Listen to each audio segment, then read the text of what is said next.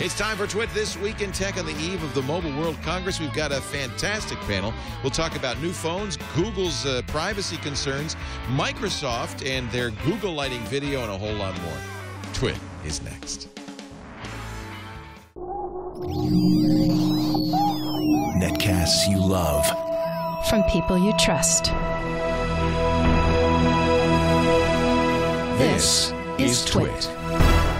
Audio bandwidth for This Week in Tech is provided by the new Winamp for Android, featuring wireless sync and one-click iTunes import. Now with free daily music downloads and full-length CD listening parties. Download it for free at winamp.com slash Android. Video bandwidth for Twit is provided by Cachefly at C-A-C-H-E-F-L-Y dot com.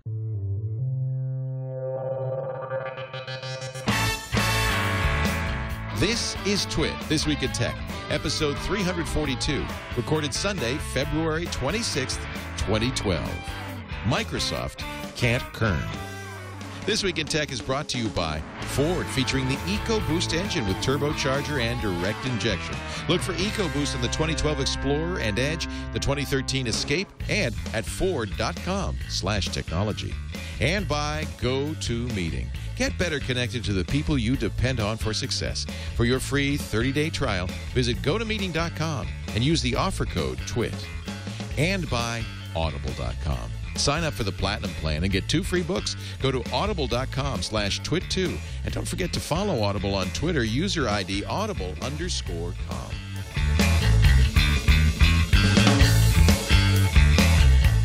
It's time for Twit This Week in Tech. Let me press the start button. Did you know that I have a start button for this show? Yeah. Yeah. John C. Dvorak is here Before. from channeldvorak.com. Good to have you in studio once again. Tan Hut. Also with us, Gina Smith. This I feel like it's old home week. It is When John left uh, Dvorak on computers, I called Gina and she came in and took your place. Gina Smith scared to death. has a new domain She called. was scared to death. She was at the time. I she, was was, scared was to she death. shaking? Were you now shaking? I'm scared. a new domain.net is uh, is where you have gone with all of your Minions. minions, including, uh, Including Mr. John Dvorak. Dvorak. I'm helping her. Are you a minion? Yeah, apparently. I got a great story I'm going to tell you about one of your minions in just a I second. have minions. Everyone has minions. Also joining us, Dan Patterson, formerly of ABC Radio News. He is now uh, doing something super cool. He's reinventing journalism as we speak. He's in his new studio. it's kind of. How many mics does he have? Well, he's got he does a show there. Oh, It's a studio. Many Unless, shows. unless those are props. like they're to get him. Dan is covering the campaign, but you're you're kind of uh, uh, fr- on your own. No, I'm not on my own. I mean, I, I started a podcasting company, Leo. It's called uh, CoPoint, and it's, No, no, I'm uh, sorry. You're it's not allowed like- to do that. Uh, please disconnect him immediately. no, I'm just kidding. No, I, I mean, I don't have venture capital because I don't need it or want it. But uh, I, uh, I mean, this is a real deal company. You know why? uh, Because podcasting funding. is cheap. Well, it's cheap, and I, I mean, uh, having a business model, how novel. Um, we're, But Dan, you've done some really, you've always done some interesting. When you left ABC News, you were covering uh, the Occupy movement, kind of on your own. You were using Storify yeah. to tell the story of the Occupy movement, and then uh, you got credentialed and were covering the campaign. You're not in the campaign uh, trail anymore. Uh, you know, I go back and forth, but but yeah, this is the second presidential campaign I've covered. Um, I, and I, I mean, back in 08, 07, and 08, I used you know Twitter very early on. I was in Darfur for a while in 08, Wow. and used Twitter and social media to cover uh, the war there. And and this this year, it's really interesting to see the adoption. You know, back in 08, we all had to evangelize these Right. social tools, and now you know they're pretty mainstream. You know, Now you have so to. Now you have to tell Rupert. Uh, Rupert, stop tweeting. Yeah, right. No kidding. Tweeting Rupert. Cut it out. What's But great? yes, press credentials for all. And now, right now, you can you can be on the web and be credentialed uh, and and meet Isn't that Robot great? Mitt. Isn't that great? Robot Mitt. Robot Mitt. Also here, uh, the man who crowned me president of the internet, and that's going to guarantee you a regular seat on the panel, Mr. Jason Hiner of Very good. Yeah, I just wanted to say that I love um, the stuff Dan's been doing. I've been following Dan on Twitter for um, a couple years, and we've we've podcasted thanks. before a couple times. So Isn't it Glad cool? It's really Love cool. Yeah, it's it's wonderful to see uh, how media is changing dramatically. So here we have, uh, you know, the perfect example of the old school. you know, when I first got a machine, and the new school. it had a hand crank. So I uh, I had lunch with Tom Anderson. Actually, wait a minute. I have to Oh. tell this story uh, like uh, like um, uh, Paul Harvey would tell it. You know. So now you know the rest of the story. But I You can can't. do I have to tell it better. You can do it backwards. I should do it. I should do it backwards. it up? Hello, Americans. Stand by for news. There you go. Paul Harvey. So he, um, I'm sitting having lunch. He said, "You know, I uh, used to work with you before I founded MySpace." Paul Harvey? No, Tom Oh, Anderson. Tom Anderson. I said, "Really?" He said, "Yeah, I was an intern at ZDTV." Oh, sorry. He wrote. Uh, he wrote for Internet Tonight with Michaela and Harriet. But then he said, "But even before that." I wrote chapters. What am I hearing? Why are you? What are you I- doing? I, are you trying. insane? I, I, I'm, on. John, you're here. You don't have to watch the show. You No, can no, actually. I wanted to get to the chat room. Sorry, I, I muted you. Sorry. Uh, but before then, he wrote a chapter. He wrote. He wrote for you. Wrote chapters of Dvorak's Guide to Telecommunications. He said John won't remember me. I remember him to the minute. Do you, Tom Anderson? Yeah. Oh, that's so cool. So uh, we both we both wrote for you in the good old days. Right. Isn't that great? And then we Yeah, worked for it's Tech TV, and now you're We No, were all I'm a Tech minion. TV. a minion. Yeah, I haven't gotten into And. I'm working with Didn't for do me Jason. Hiner. Which Are you is- working with Jason as well? Well, so, kinda, right, Jason? Would you say Yeah, work for absolutely. you? Yeah. He's- so Jason you're works for. CBS via Tech Republic. CBS Interactive owns Tech write, Republic, can cover and you consumerization of IT. you're writing about the what? I'm writing about consumerization hmm. of IT. Holy camole! Why is this thing turning off the? People bring in their iPads. It turns into off work, the. Yep. which is a beat now, Mute. apparently. Right, Jason? I'm not doing Absolutely, it's a really important one. A lot of money, you know, i- i- at stake with uh, you know enterprise now not controlling That's um, right. the stack as much, Okay. right? So Gina's doing Look, I great didn't work do writing anything. I'm, yeah, I'm I- killing it. I, heard you, I'm killing, it, I'm Jason. killing it. But these guys are, t- are talking over here. Just so you know. Can I get you in the chat room, John? I'm in. I'm getting in the chat room. Okay. it's a computer, John. It's a whole new concept. This actually is really nice. This is Dell's uh, is MacBook XPS. Air Clone. clone. Everybody who's doing these ultra mobile PCs is doing it. This is a Dell XPS. That's nice. It's kind of like it's it's aluminum. It's lightweight. It's very thin. It's got Probably really screen. real tough. What happens Dell when you drop it? I don't know. Should we try it? Drop it. Yeah, let's try it. Burn Let's it, it. freeze it. No, I won't do that. But it- it's because he'll a- take mine. It's got a nice little grippy thing. See, try pushing it. I like it. No, it's good. It doesn't slide. Where's the little grippy thing? It's on the bottom. It's little, It's called rubber feet. It's got more. No, grip but I than don't the- have a Mac. I don't have the Mac. I have something separate. You know, I have a cover that ungrips it. Oh, that's why it's red. That's why it's red, baby. So there is lots to talk about, uh, including right now a breaking story which has pretty much broken from the uh, Sunday Times of London. Uh, and it's so funny because uh, uh, Read Write Web and others, others have reported on it, saying that it's behind a paywall, and they apparently didn't want to pay the two pounds to read the article. So they're all saying we, we don't know what they said, but Fox says they said this. This is so bad. I How tr- well no, and I was that was my thought also. Wh- Uh, I thought, well, what? Just pay two pounds and find out. And I tried, and you saw me do I- it. I I- tried to pay I'm a two witness. pounds, Get in. and it's a Crapped mess. Crapped out. I paid it. So they, got my money. to- so what you're telling me is that Murdoch makes a big stink about this paywall thing. You spend the two bucks and you can't even get piece on. of crap. Well, not only that, apparently the uh, the story itself is a piece of crap. So here, let me read you what's going on. Fox News summarized the article that says Facebook, using its Facebook app, was reading text messages on your phone and admitted to it, according to Fox News. Furthermore, YouTube can remotely access and operate your smartphone's camera. Flickr, Badoo, and Yahoo Messenger have accessed users' private information. I mean, if this were true, especially the Facebook allegation, it would be a bombshell, a huge story. Uh, and that's why I was trying to get to the bottom of it. My suspicion when I first read this is, eh, I want to read more. I, I wasn't sure that this was Yeah, exactly. you might probably be good news. Yeah. well, And you And then, expect by the way, talking about that, accessing other things. here, get that microphone in your face This here. is the first thing I always do to one of these machines. Oh, look at that. John's taped over the camera. I always tape over the camera. So you, you're worried about getting uh, spied upon? You, here, anybody wants to spy on John? Use my camera. It's not taped over. John, see that? That's a camera. That's a camera. That's a camera. That's a camera. Oh, but you're in the bathroom when you use that. Go on, Leo. It's just you're trying to. You're going to do some. You're, you're doing material. So let me talk. Let me talk a little bit about this. Uh, Facebook has responded. Ian McKenzie responding on Facebook Yep. says another day, another piece of disingenuous reporting that does nothing for journalism and confuses users. And apparently, uh, he says we worked with the Sunday Times to explain why the Facebook Android app requests SMS read and write permissions. Here's what we sent them. Facebook is currently running a limited test of mobile features which integrate with SMS functionality. SMS read write is not currently implemented for most users of the mobile app, but as part of this test, we declared the presence of that functionality within the App Store permissions. That's part of Android. If you've ever used an Android phone, you'll get a list of things. The phone says it this this app is wants to do all these things. Right. And what does everyone always do? Say yeah, whatever. Right. I don't even read them.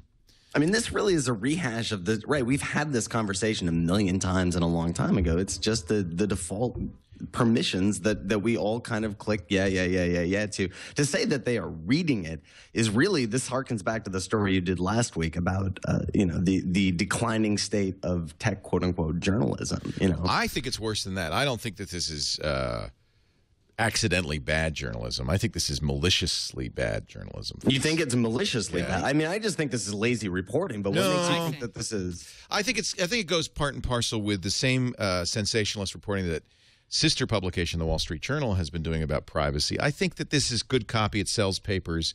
It it, it generates Yeah. links. And I whether I think that they look at a blind eye to the fact that they may or may not be doing this. They they write it in such a way that it can't be said that's wrong. But they but it's very sensationalistic. It's saying they're asking for permission. They must be doing it. Essentially. And I think right. that sells papers, but it but I think that it, it is also scary to people. And I think it's It doesn't- clickbait. I don't know Yeah, anybody it scared by it. like there's a yeah, I smoking agree with her. here, right? Yeah. No, in fact, uh, as as uh, as Ian, uh, now I don't I don't know who Ian McKenzie is, but uh, he's writing on uh, on behalf of Facebook. Um, PR guy, maybe. he's he's saying that as far as he can tell, nobody at the Times looked any farther than what permissions these apps asked for. Now that's admittedly an issue, and, uh, and part of it is the is a is actually the fault of Android. That in order to it happens on the iPhone too. In order to do some things that you want to do, you have to ask have to ask for broader permissions than you really want. In this case, Facebook said the features aren't used outside testing. We're testing it with a small number of people who we tell exactly what we're doing, and what we're doing is, you know, testing things like carrier billing. That's why we need to read and write SMS messages. Um, he says the paper wrote companies are using smartphone apps to extract extract vast quantities of private information about users' lives. In some cases, reading their text messages and intercepting calls. I, I find it hard to believe that any company would want to intercept anybody's calls. What would you do with that? How would, Depends. how would you hire enough people to listen to those You to make it couldn't, worth but anything? you could target Yeah, people. yeah, I think that's the real concern. And that's what the real business You business think- is. Yeah.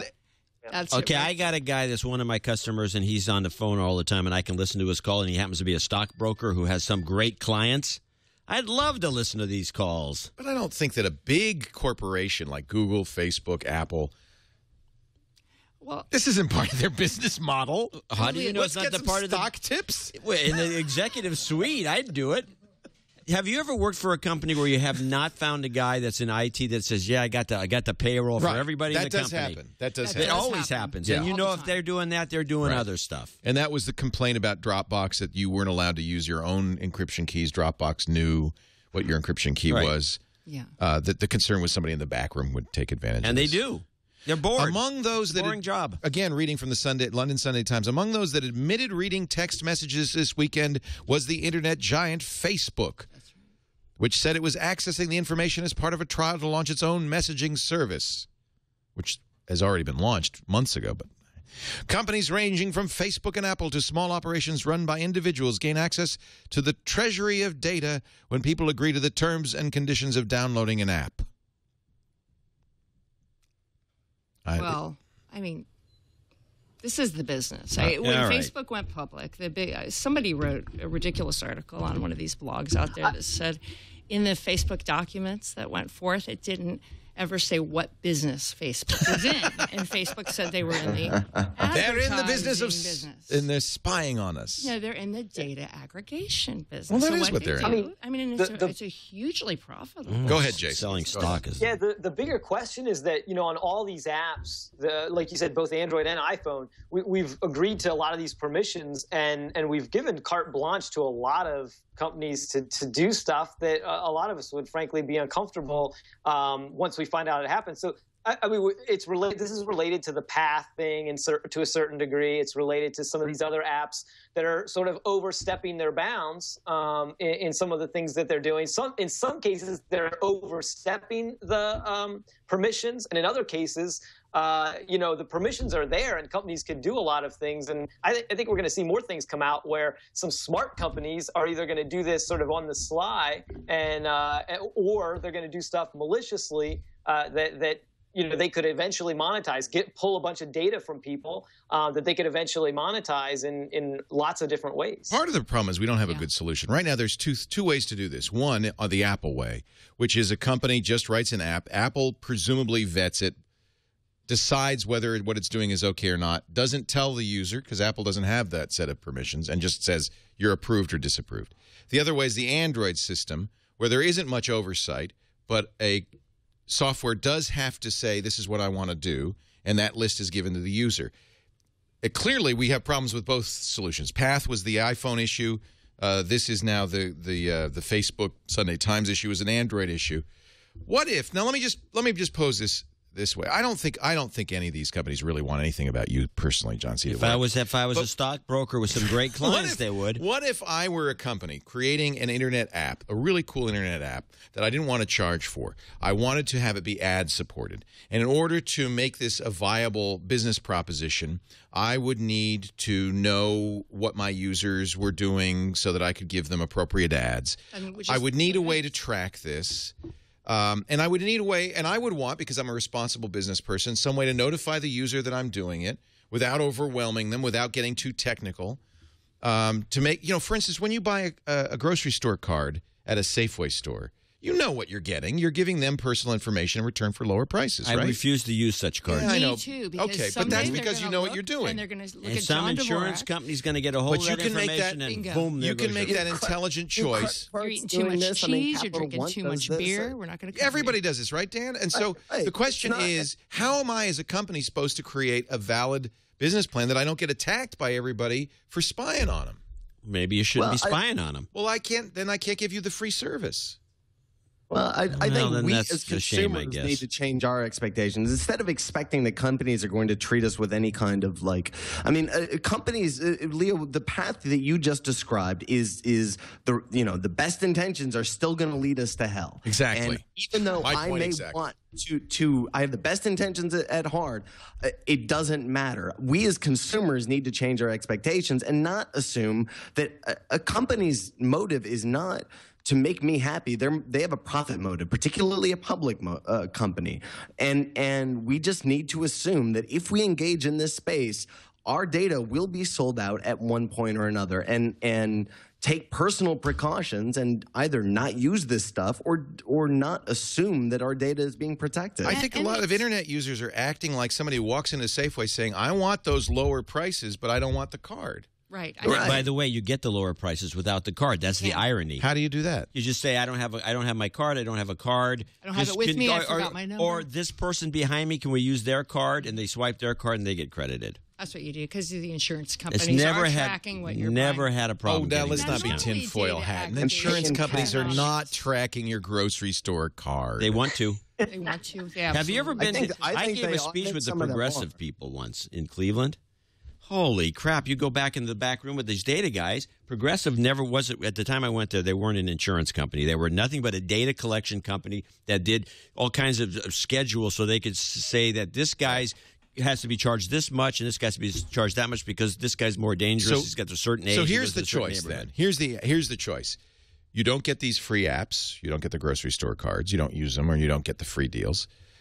Or you get the government involved and then we regulate the hell out of it. Or you educate yourself. No, I don't you think do the government needs It's to like- be How does involved? education help? Okay, for let me give you an example. On March 1st, Google will uh, unveil its unified privacy policy. You know about this, right? So, so there is a way, if you're smart and you look around, that you can go online and through log into every Google account you have, your Gmail, your YouTube, your Google Docs, everything.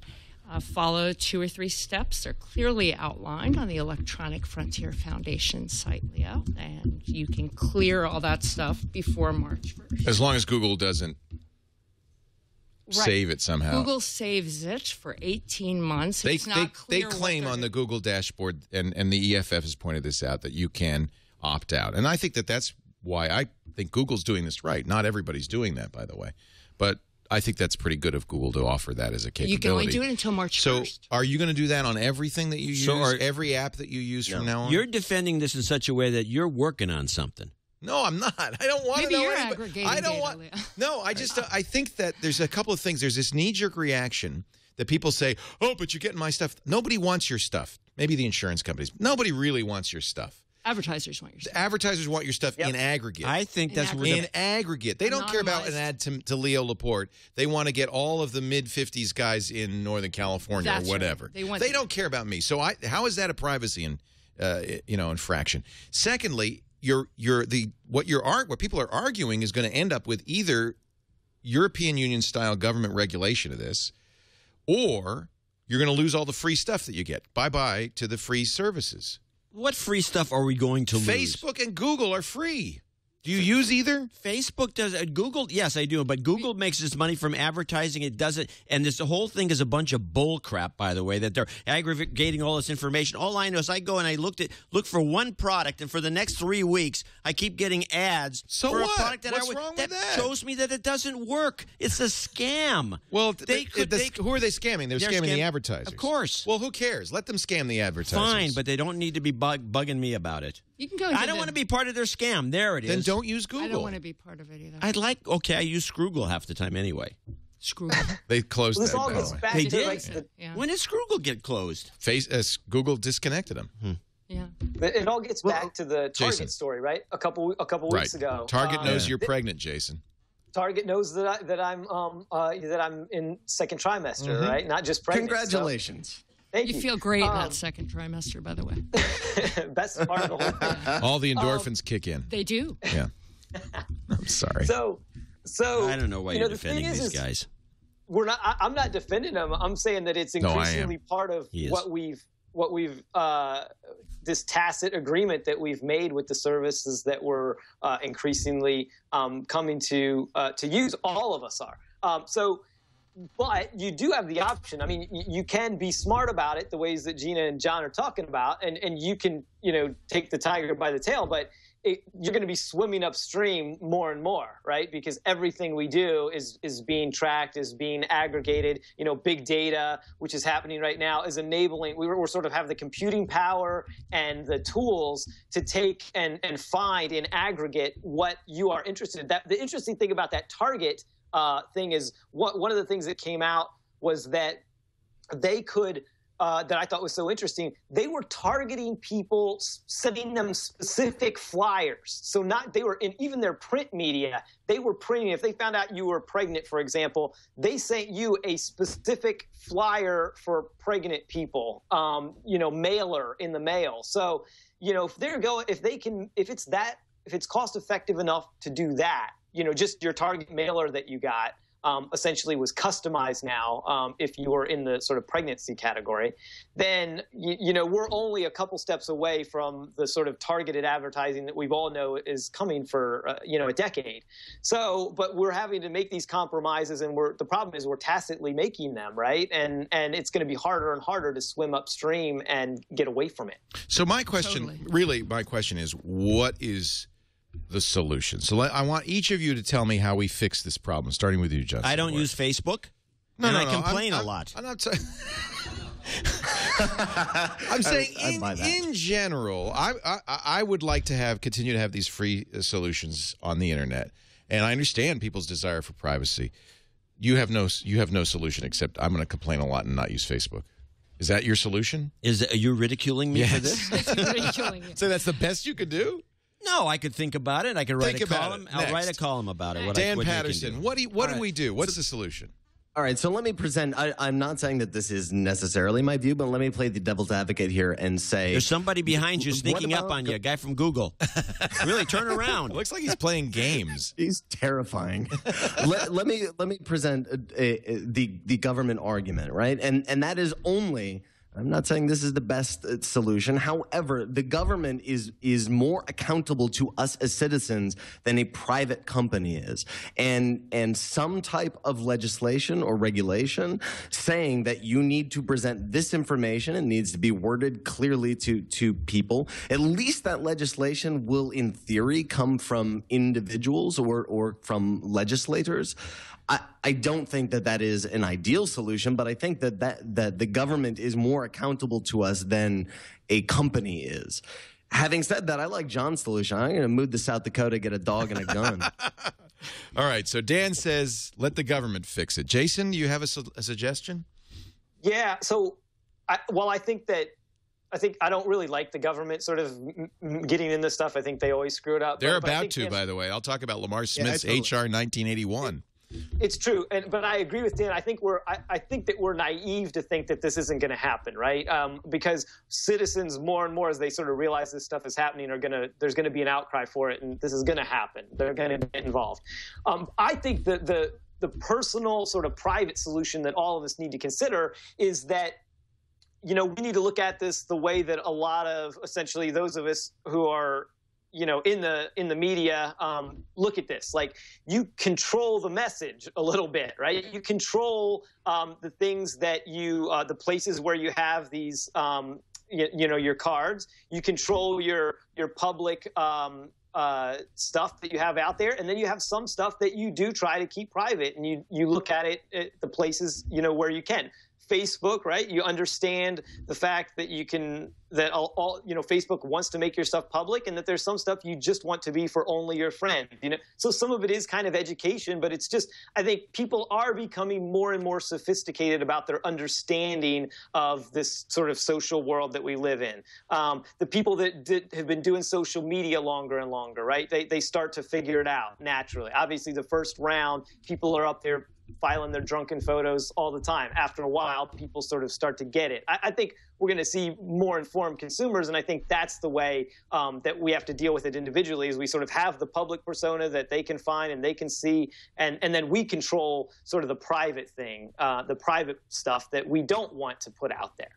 I do think, Personal though. responsibility. Yeah, I do think that. I mean, a this, the the personal solutions that Gina described, the EFF uh, solution, and what John describes, getting off Facebook. A, nobody's going to do it, but but B, it puts a, a lot of the onus on the people have- consumer. Is is that really where the onus belongs? That's where it is. Because So the- what's your solution? That's because of guys like you, Leo. It's my fault. I, I take full responsibility. and it's not just Leo; it's a whole generation of people that don't care about Leos. privacy anymore. Why should I care what Target knows about me? Right? A lot of people don't care. Right, and a lot of people don't know there was a recent uh, a, a recent survey that came out that showed that 80% of Facebook users had no idea this data was being collected. So there's a lot of ignorance out That's there. That's pretty ignorant. So for I have to say. there, That well, is that is amazing. Facebook, right? Eighty percent. and wow. try to Doesn't delete your surprise me. Facebook account. It's very, I very know. I have done it. I have you done gotta get a So- groovy post to find out how to do. We live in this age of like no personal responsibility, right? Nobody wants to take responsibility. They want to blame all their problems or all the things on the corporation, blame it on the government, right? I- I'm just saying that at some point we're going to have to say people are still responsible for themselves. Governments have responsibilities, corporations do have responsibilities, but citizens also have responsibilities. Is it Maybe so- not is, of is what. Facebook did? I mean, uh, Google's done with their dashboard and the ability to delete uh, item by item your personal information. Is that sufficient, or do we need? what, the Google thing? Yeah, I, I think that's a great first step, right? I, I mean, I, I, I applaud them for, for doing that. It does give people, it does make it clearer and give you the chance to go in there and, and do it yourself. And, and it's, you know, pretty self-explanatory. It, it's a little complicated, but all in all, um, I, I think that's the kind of thing that we're, I hope we see more of. I'd pre- frankly prefer that to a government Yeah. law. A law. Well, that's because the government law will be some big, thick document with all kinds of weird crap thrown in there, and the next thing you know, you like- can't walk like across the street without getting a ticket. Of service isn't. I mean, that, that's Yeah. the thing. Like, like yes, legislation is convoluted. I'm not saying government is a perfect solution, but but it at least it is more transparent and Uh oh. Oh, the government cut him off. and uh. That's it for you. Oh, Dare government. And yeah, the EFF, because I was looking around there on, on this other story we were going to talk about, and they said, you know, our advice in 2006 still holds. There are six things you can do to protect your privacy. And I thought, really? I, I thought your privacy was gone. And I went to their site, and uh, this is a lot of work. They say don't put personally identifying information in your search terms ever. That means don't self Google, right? This is from 2006. It's that's from what's, 2006. That's what's so funny But about the this. EFF published yesterday that all six of these things still apply. Don't use your ISP. Wait a minute, though. I have to say, let's start with the first one. All right. Don't put personally identifying information in your search terms. It, it says Uh, if It you wanna makes do a sense not to vanity put your name, address, and credit card number, but if you search for Parkinson's disease and Facebook keeps track of it, and then you search Leo Laporte, And then, that- then, then the insurance companies will jack up your rate. so it's pretty hard not to. In fact, we learned that when All these things are hard. we we learned that when uh, an, a supposedly anonymized uh, search information from Ask.com was uh, given to I can't remember who, and a reporter in Florida was able to track down a person from that data. Yes. because if you aggregate your search terms together, they don't need much to find. So so that, that was the, that's the it first says thing. easy, not so easy. Not so easy, and it gets harder as their list goes down. They say don't use your ISP search engine. I don't even know what that means. What's an ISP Oh, search? Comcast Right. No one has uses a search word This is from engine. 2006. No, they still do. Don't use your provider search engine All right. anymore. They still have them. because Google's so much better. Go ahead, keep Don't going. log into Give all your information engine. to Google. Right. Don't log into your search engine or related. now that's relevant. Don't log into your Google Plus or Google account. Yep. Right. So you're not using Google. And then there's a really interesting one that was number. By the way, that here. means that you can't use Gmail, you can't use GChat. I don't use You Gmail. can't use a lot of free services, right? I don't use You can't use GChat. Hotmail, Well, can MSN. I don't use stuff. Hotmail. You, You you also can go and tell them not to um, not to record your history. That's what I do. Sometimes I want to be logged into to Google, um, but I don't want them, you know, recording my search history, right? So you can through the tools that you mentioned, Leo. You can go in there. That's the first tip I would give everybody right here. Is like if you are logged into Google um, or Bing, um, go there and uh, tell it not to to take your search history, to log your search history, and um, you know try to to give you all of its information based on um, search history. So Right. that's a great place to start. And you got to do it before March 1st when it comes. What happens to- after to- March 1st? March 1st, That's what the Go- unified Google's- thing goes into effect. And what was so funny is I think it'll be even easier after. day. I think it'll be easier after yeah, it March should. first. It But should. It should be. But Google, or rather Yahoo, announced the same day that they are only going to keep your stuff for three months as opposed to the 18 months that Google will yeah, keep it's a real question why Google needs that. to keep it for so long. To be honest, For the Because you're government. aggregating your data. And For the government. You can go to the Google Transparency Project.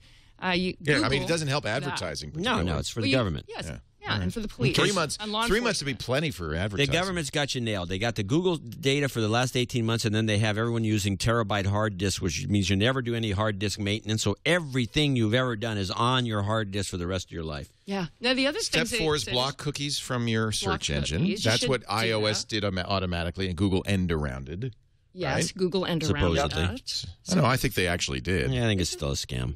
Uh, there's there's more to this than Now they say the but- vary your IP address, and I thought, okay, Can't do that now that it's easy. too much. Now it's too Yeah. much. Well, no, it doesn't even matter if you do because if you change it, the I, the internet Yeah, service I- provider knows exactly they know what exactly IP when you address it changed is. This and is- the is and they silly. recommend the EFF recommends to use web proxies. What and about the Tor network? stuff. Go into something that slows down everything. You know, the truth is though, Things if you just ask me, if you're worried about government, I mean, I don't know about if you're worried about Google, but if you're worried about government, using Tor is basically saying, over here, over here, follow me. I'm doing something private. Oh, CIA, oh, Now, now, now, this kind of contradicts what you were saying a little while ago, which nobody cares. Now you're saying they're No, I'm saying, I said, if you're worried about the government, using Tor is a bad idea. If you're worried about Google, maybe okay.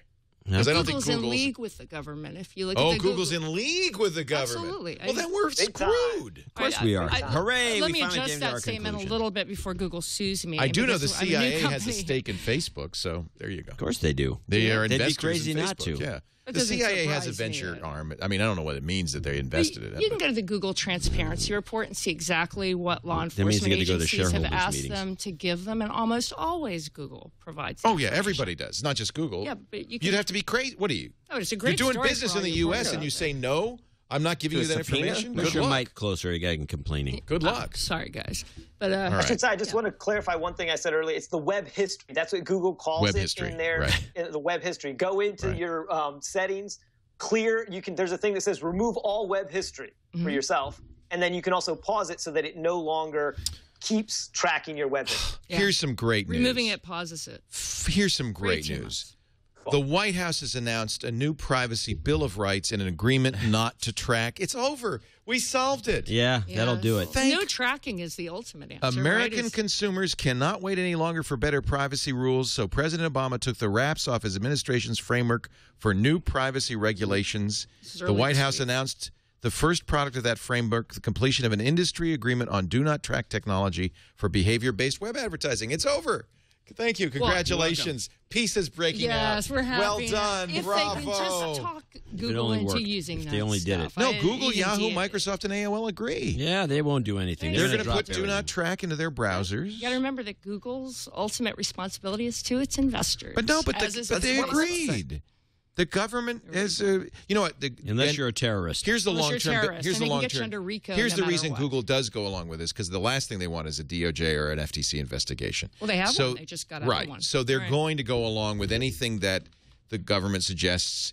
And to allow consumers to opt in to do not track is, of course, very good business for all of the above. Yeah, but then Mostly because most consumers go, huh? Right. He said, well, that's it. If you've got 80% or 78% of Facebook users saying they're not even aware But their this, data is being isn't used. this the solution we were asking for? Consum- according to the Consumer Privacy Bill of Rights, consumers have the right to exercise control over what personal data organizations collect and how they use it, right? Right. Consumers have the right to easily understandable information about privacy and security practices, right? We all agree. Yeah, but th- this is a document. This isn't law. No, This is and promises, empty promises. These are this is this is these are guidelines. But they agreed. You Google, know, Yahoo. I mean, they had guidelines in your parking Yeah. lot over there, and I parked completely illegally because I have no. such a well, scofflaw. Now, probably a cop She is is going to write me a scofflaw. ticket. It's Sunday. They don't have cops I'm in Petaluma on Sunday. That's what I thought. They have no cops in Petaluma on Sunday. They're That all, was my yeah, theory. No, they're, They're all all drunk. But people, they're all drunk. They're not drunk. No? I mean, said? That's the, what I sig- was the told. significance significance of this, though, is that look, it's the executive branch of the government. I mean, they're not necessarily um, jumping Right. on top trying to create new laws, but they are saying we're going to take the laws, privacy laws that are in place, and we're going to try to, you know, put pressure on these companies to, you know, act in good faith toward their users. I mean, I think that part of it I like. And Do Not Right, Track this is is in Firefox, it's in Chrome, it's in Safari. You can set a switch on those browsers, very simple for consumers. And these companies have agreed, I don't see Facebook on this list, but Google, Yeah, Yahoo, Microsoft, and. Facebook will AOL have agreed to adhere to this. And I think that that's exactly what we're looking for. It's not a new law. FTC will enforce this. These companies have agreed. This is the the solution. F- and I think this is a solution to this topic. I think we should move All right, ahead. we're going to move on. Yeah, but I, I- just think that's, well, that's the relevant news You know story. We'll we could all see. just TrueCrypt all of our stuff, Oh, that's just a, and nobody Asking will for trouble. ever find Why your is it asking for trouble? TrueCrypt is great because you TrueCrypt it once, and only you have the password. We're going to talk you about die that. with that. There are conflicting opinions. The 10th and the 11th Circuit Court of Appeals have conflicting opinions on that matter, and we'll talk about that in just a little bit. Right after this. Gina Smith is here from a newdomain.com. And what is Groovy Post? Is that related? Um, well, they're our partner site, and it's not a newdomain.com. It's a newdomain.net. .net. Sorry, thank you. And uh, a newdomain.net is the site that John and I are doing together with a bunch of people who bailed from Byte, um, who are freelancers, who I think are in the chat Jerry room. Pournelle.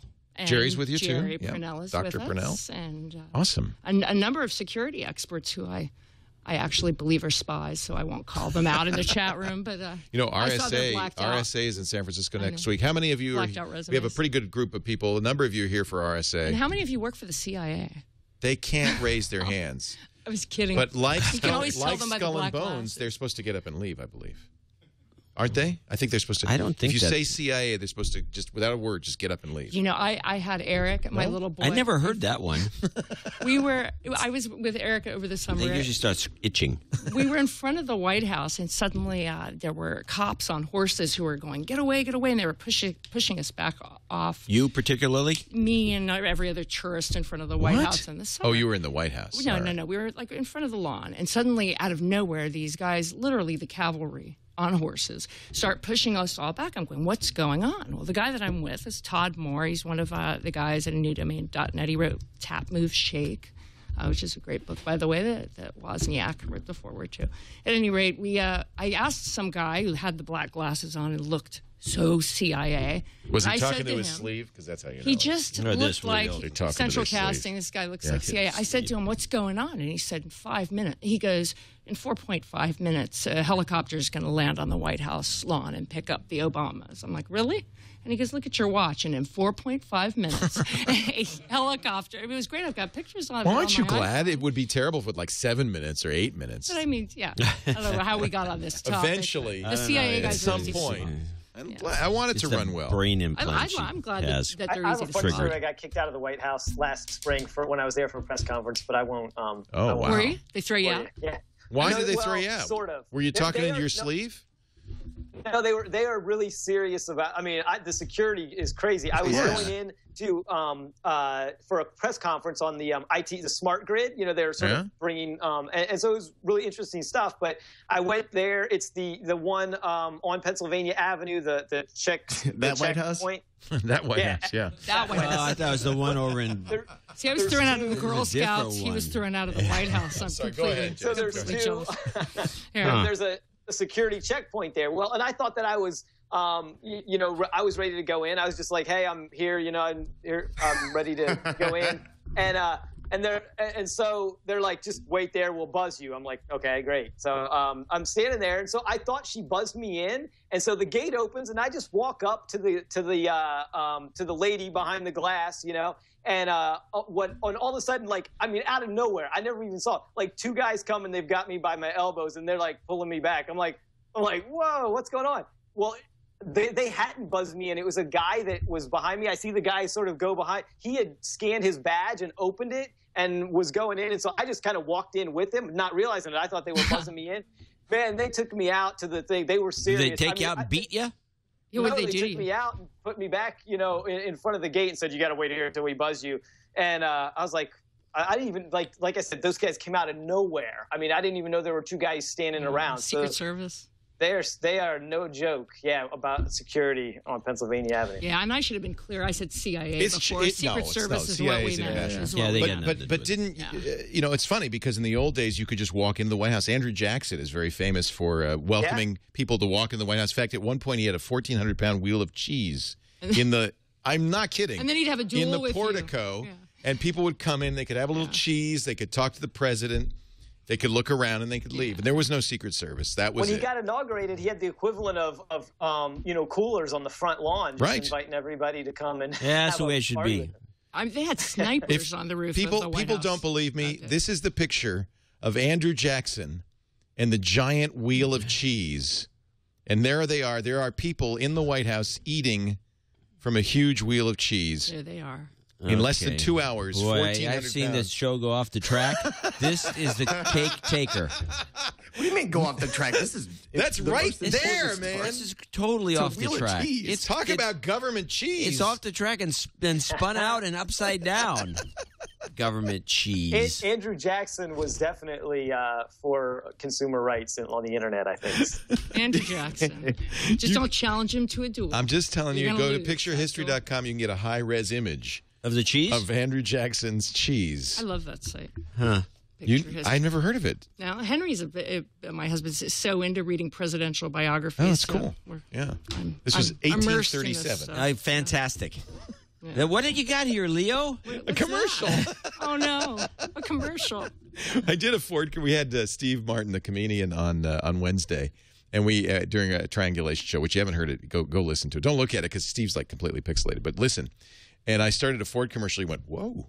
I was like, I thought he thought we were like Wayne's World. Oh, you have an advertiser? Wow. Wayne's World. You got to send Party people on. a memo before you do these interviews. Whoa. Ford. Wow. Wow. This uh, this show brought to you by the Ford Motor Company, who's really reconsidering their advertising strategy right about now. They are the creators of the fine. Unless they like cheese. they might like cheese. The fine eco. Go look for some cheese in the commissary. I bet you, You there's have some. to make comment every time. I. I slip out stealthily. I know, but and I have every to call time, attention. I know. Wide shot of John leaving. Go ahead, don't leave. Have some cheese. Have some cheese. I'll As check we- my email and tweet. Check your email. You may you may smoke them if you got them. This episode brought to you by Ford, featuring the EcoBoost engine. So here's the issue. Here's was he? Did he just do bunny ears? He did. Hey, and you know what that means in Europe? That means oh, in the UK. What? That means up yours. If you go to a new you have to go domain.net, the other way. It you has to can be this see- way, not this way. Right, if you do it the opposite way, Victor. it means up yours. And all of us doing this in our pictures in Europe, they're going, "What? Why are they all flipping us off? All these Americans." Hey, did you have an ad that you were doing right now? Today's show. I, I guess it's my out. fault. I was the one who brought up the cheese. Today's show is brought to you by Ford. Did I mention that they are the creators of the EcoBoost engine? You can find out more at Ford.com slash technology. Amazing technology they're putting into these cars. A 21st century car company. The EcoBoost engine, the idea is you get the power of a V8 with the economy of a V6. That's the 3.5 liter EcoBoost in the SHO. Now they've got 2 liter EcoBoosts. Those are four cylinder engines that give you great pickup, great, great fuel economy. Um, you feel like you're driving a big car. Well, you are because it's in the 2012 Explorer or the 2012 Edge, but you're getting small car economy. In fact, an EPA estimated 28, 28 highway miles per gallon on the uh, 2.0 EcoBoost uh, four uh, four wheel drive. That's uh, that's the best in class for large utility vehicles. How do they do it? Well, two technologies: direct injection, of course. That produces a cooler. Da- I'm going to read this copy because I have no idea. So technical. I was like, You you, know, know- this much about cars? Wow. Nothing. I know nothing. I do drive a Ford Mustang, but it's got a, it's got a V8. It does not have this. I wish it did. Actually, it's got uh, a, a direct injection produces a cooler, denser charge. It generates more power per drop of fuel. Really? Yes. So And then now sometimes I've been told that you know the old turbocharged engines, big turbine takes a little while to spin up because a lot of you know momentum in there, and that gave you something we call turbo lag. But this is they're doing two smaller turbines. Let me let me play that video again because they show it in here. Two smaller turbines uh, that spin up right away, so there's no lag, but you get a huge amount of torque. So what a turbine does is it it uh, it takes power from the engine's exhaust to spin those turbine wheels, then compresses the air in the cylinder, and that pressurized air again significant increase in performance per liter or or gallon if if you're if you're here in the U.S. Um, so the the 2.0 liter EcoBoost engine now available on the 2012 Explorer and Edge, and next year the 2013 Escape. Actually, it's not next year; it's in the spring. The 2013 Escape will offer 1.6 liter and 2.0 liter EcoBoost engines. Again, great performance and great gas mileage. It's kind of a holy grail. Actually, if John were here, he's the guy who told me about um, that one of the goals in engine design, this kind of holy grail, is to get one horse per cubic centimeter. really. Right? I never knew that. Yeah, that's like. In fact, when he comes back, I'll ask him. And I- He told me this. This this 1.6 liter uh, engine, which is what 1600 cc's, or I, I don't know. I'll have to ask him. Do the math. But anyway, it's more than one horsepower per cubic centimeter. It's amazing. Um, 365 horsepower in the 3.5 liter V6. 420 foot pounds of torque. It's incredible. Um, so take a look at it right now. You just go to ford.com slash technology. I'm trading in my it there right now. BMW. You should. You know what? You you I you really would, should. You would love this, and you'd love the Ford Sync. And I, Scott Monty and his All the technology, yeah. Ford have, have Yeah. really Scott's made- great. Isn't he he nice? He's really Yep. a nice guy, and he makes Ford seem hip, which It is hip. and it has become so. I'll tell you, if you hang out with Alan Mulally, you will see how hip it is. He wears the sweater vest. He looks just like Pat Boone. Ford.com slash technology. I, I, great. The first time I met Alan, I went. I wore a suit. I thought I'm meeting the CEO of a Fortune 500, a Fortune 10, whatever company. I'm going to wear a suit. He's wearing a crude, like a Pat. He looks like Pat Boone. He's got a V-neck sweater. Maybe he's thinking the first time I'm going to meet Leo Laporte, It was I'm going to because look cool. the next time I wore a V-neck sweater and he wore a suit. really, Swear to God, of course, very confusing. you can never be too What is, dressed what is up. that? What? J- Don't let him in. Oh God, we're in trouble. John is at the controls now of the show. Is he? Look at him. Oh no. Okay, John, press uh, press F on the keyboard. Press F. Monkey back there. Press F. What does that do? Go ahead. Just pre- see. Look at that. Oh, cool. Flew it right out of there. You let John drive this? Thing? I- He's never driven it before. I'm very nervous. He's figured out how to do that. He's got some weird transition. That's oh look! funny. Wow. Oh Chris- yeah, there's a bunch of cool transitions here. Oh dear. And by the way, I'm on. Hey, how are you guys doing? yeah. Good to see you, John. You can stay there. But but correct me. Didn't you not tell me once that the holy grail of engine design was uh, one horsepower per cubic centimeter? That would be one of them. Yeah, it used to be one per uh, cubic inch. Remember in the olden Right. days when you'd Now have to they're put a cam in the car and all these crazy right. things. But so I ran into these things out here, which is uh, these these kind of. There's a Mad magazine. There's an autographed mad. and right right under it was this. You really smell like dog buns. What is There's the name of your show. For what's going week, right on We're, we are. We're brainstorming new names for shows, and we thought uh, YRSLDB Should be it. should be it. for sure. You really smell. Like dog bun. What is that? What is the story of that, by the way? Does anybody know? John, do you know? Chad? Nobody knows. I'm afraid to ask what a dog bun is, but I, I guess I can imagine. Dogs It's don't like have a buns, cow patty. It's like a cow patty. Dogs don't. Let's move on. Uh, ask Actually, this is a story Gina wrote about in a newdomain.net. Yes. uh, pleading the fifth. Now, this is what's interesting on this is there were two decisions from federal court this week, uh, the tenth and the eleventh Circuit Court of Appeals. The the tenth was uh, ruling on a Chicago uh, uh, story, I a Chicago. It's uh, Colorado. Colorado, that's right. Very good. Colorado. Ramona something. they let stand a judge's ruling in that case that the defendant in a mortgage fraud case could be compelled to produce the contents of her encrypted laptop. well, I mean, they can't make her talk. Well, the cho- they the could say you go to jail until you give us the That's- password. They put you in jail for contempt of court, which is what they overturned in the 11th Circuit. that's so weird. The next day, the 11th Circuit Court of, O- Court of Appeals overturned a Florida contempt of court charge. Uh, this one was for a child pornography suspect. He refused to decrypt the contents of several hard drives. Yeah, five five laptops. He wouldn't give him his TrueCrypt password. The 11th and Circuit it was said crypt. He has the right under the Fifth Amendment not to incriminate himself. So the the real the really interesting question is if you have an encrypted drive, is giving the police the key in is it is it self-incriminating? And one court ruling says yes, the other said no. Well, this will go all the way to the Supreme Court. You can bet. Well, and I think maybe. Yeah, yeah. interesting thing here, and Jason, I'm glad you're here because I was going to pitch this as a story for you for tomorrow. is there's a whole cool enterprise angle on this? Is um, so say I'm a user in a big company and I decide to use TrueCrypt, and if you've ever used TrueCrypt, you know, I mean, nobody can get into this hard drive unless they've got that password. And I encrypt everything, and let's say I break the law, you fire me, and I leave, and you take my laptop. IT now not only has no control over what's on your iPad and on Google Docs, they can't get into any of your email or any of the stuff that supposedly belongs to them on company property. Mm. And that, what are the I wonder if that's implications here? different than self-incriminate the right to not to self-incriminate. I mean, if they say you don't have to give up your password, that the right that the Fifth Amendment covers But your that's right different. That's a civil. In the IT case, it'd be a civil issue, Right. not a legal issue. Right, Not that's a- different. I think but I think in different. terms of criminal activity, I actually think that giving your fingerprints is self-incrimination. And courts have course. ruled that it is not. Of course, that it is right, in but fact, it is. You're you're you're DNA incriminating yourself. Same thing. DNA, fingerprints, Oh, uh, self-incrimination. all completely legal. Some would say, not the courts, that that is self-incrimination. That's why I don't think this will I would say it. I'm totally on that side of You that. understand I'm that you're not in the mainstream. I've heard that, yeah, a couple times. Yeah, me too. Uh, That's why I does anybody want to talk bucks. about? Uh, well, first of all, the difference between the tenth, the, the tenth Circuit Court and the eleventh Circuit. Why did? How can that happen? One court ruled one way, the other the other way. Dan, do you have a thought on That, that? that that happens fairly frequently, and the way that this will will I, I mean, this could go to the Supreme Court, and that would settle it. I, I don't. I mean, this is going to be a pretty contentious year for the Supreme Court. I don't think they're going to take this, but it it it depends entirely upon how each decision is written.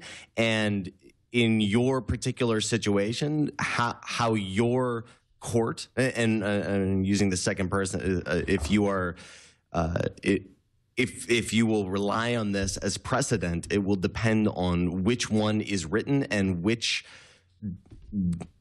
the discretion of the judge to look at which they want to use as precedent and say, well, this one was written better. This one refers to to law in a way that seems to, you know, depending on the district or the circuit that you're in. This you Actually, know, it's it- it interesting all- because uh, Yeah. in San Francisco, where we have the hippie Ninth Circuit Court of Appeals, they've just ruled that when the moon is in the seventh house and Jupiter aligns with Mars, you are allowed. You're doing more material again.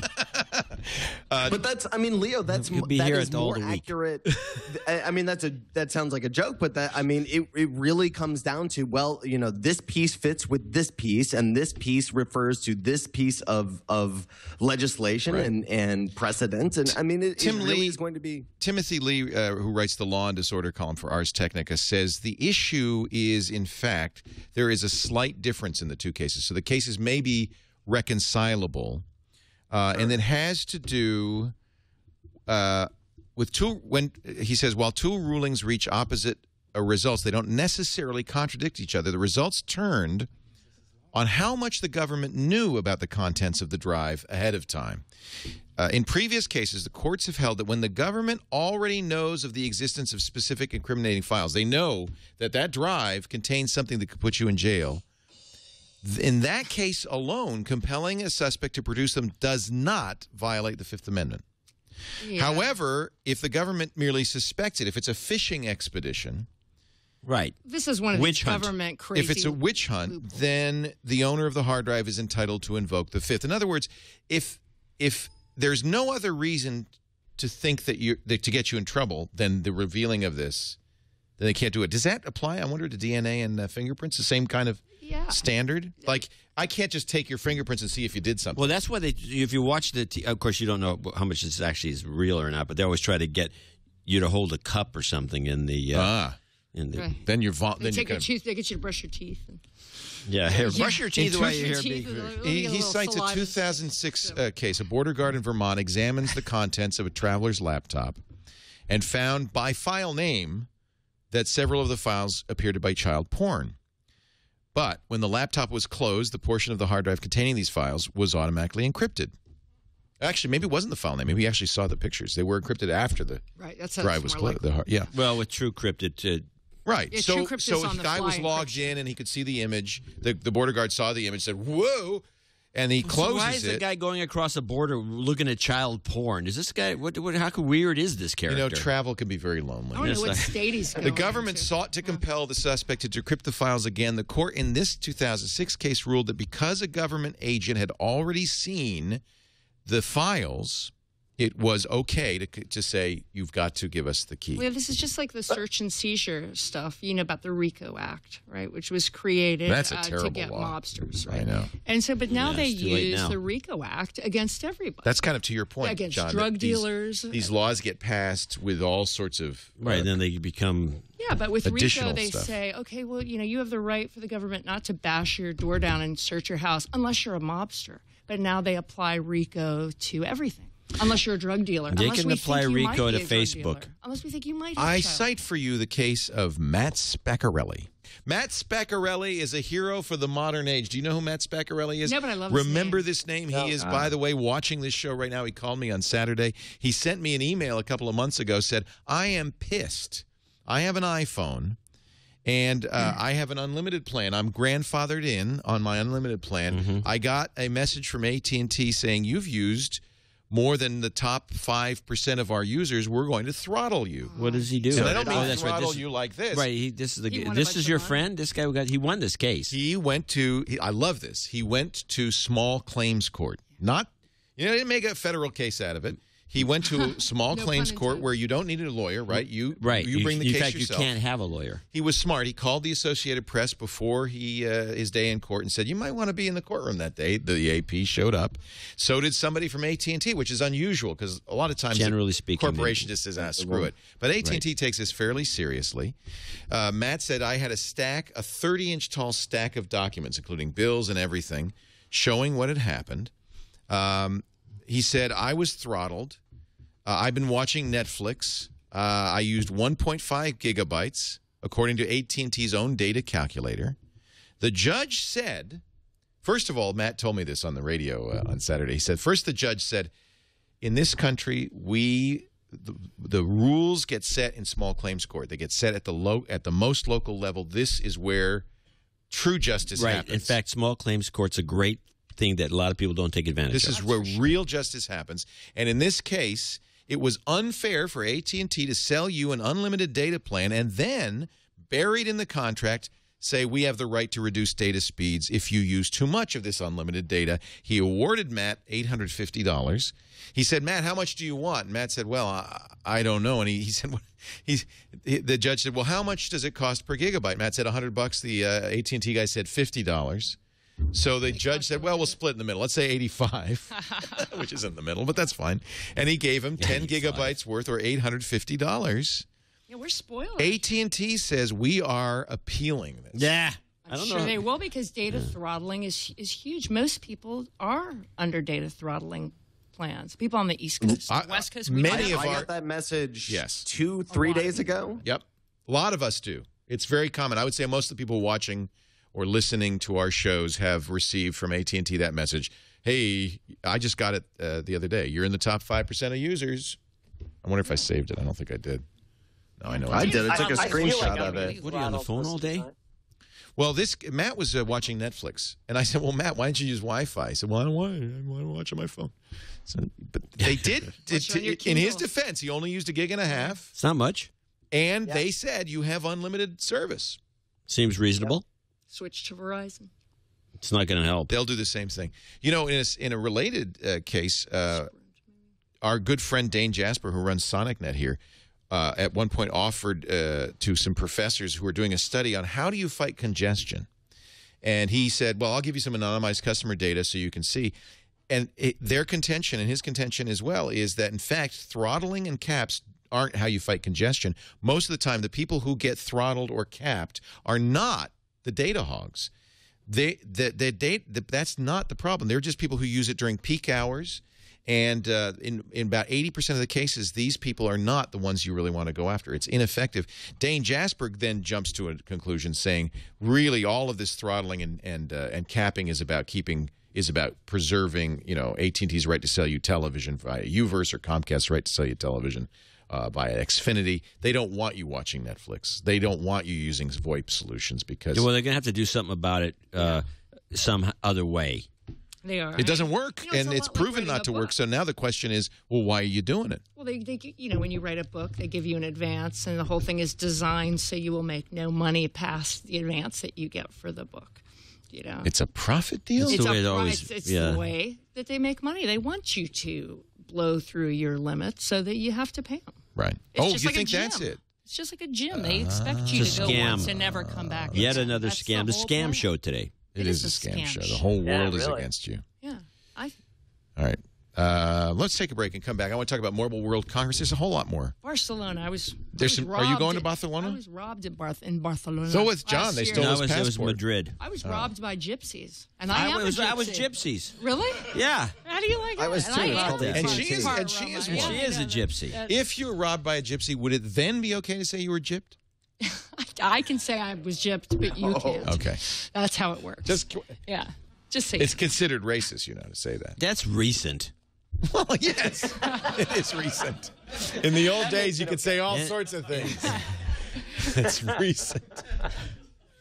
it is really. And it's recent. bogus. Let's take a break. We're going to come back with more. John C. Dvorak is here. Channel Dvorak, and you, now you're writing for a new domain.net, and you're doing the I X3 do actually. The X3 thing uh, goes over there and it gets posted. What is the X3 thing? X3show.mevio.com. It's a, it's a, one of the great shows on the internet. It's a great show. And there's also the Generation x3.mevio.com, which is a good show of, with uh, millennials versus me. Is Mevio going to stick around for a while? I hope so. Me okay, too. just a question. Who said that? Oh, you. Okay. Uh, I thought it was Eileen. I was worried. Maybe Out of it my, around. I like It me. was- she's, no, it's the ears, your ears. my ears. Coming up in uh, just a bit more.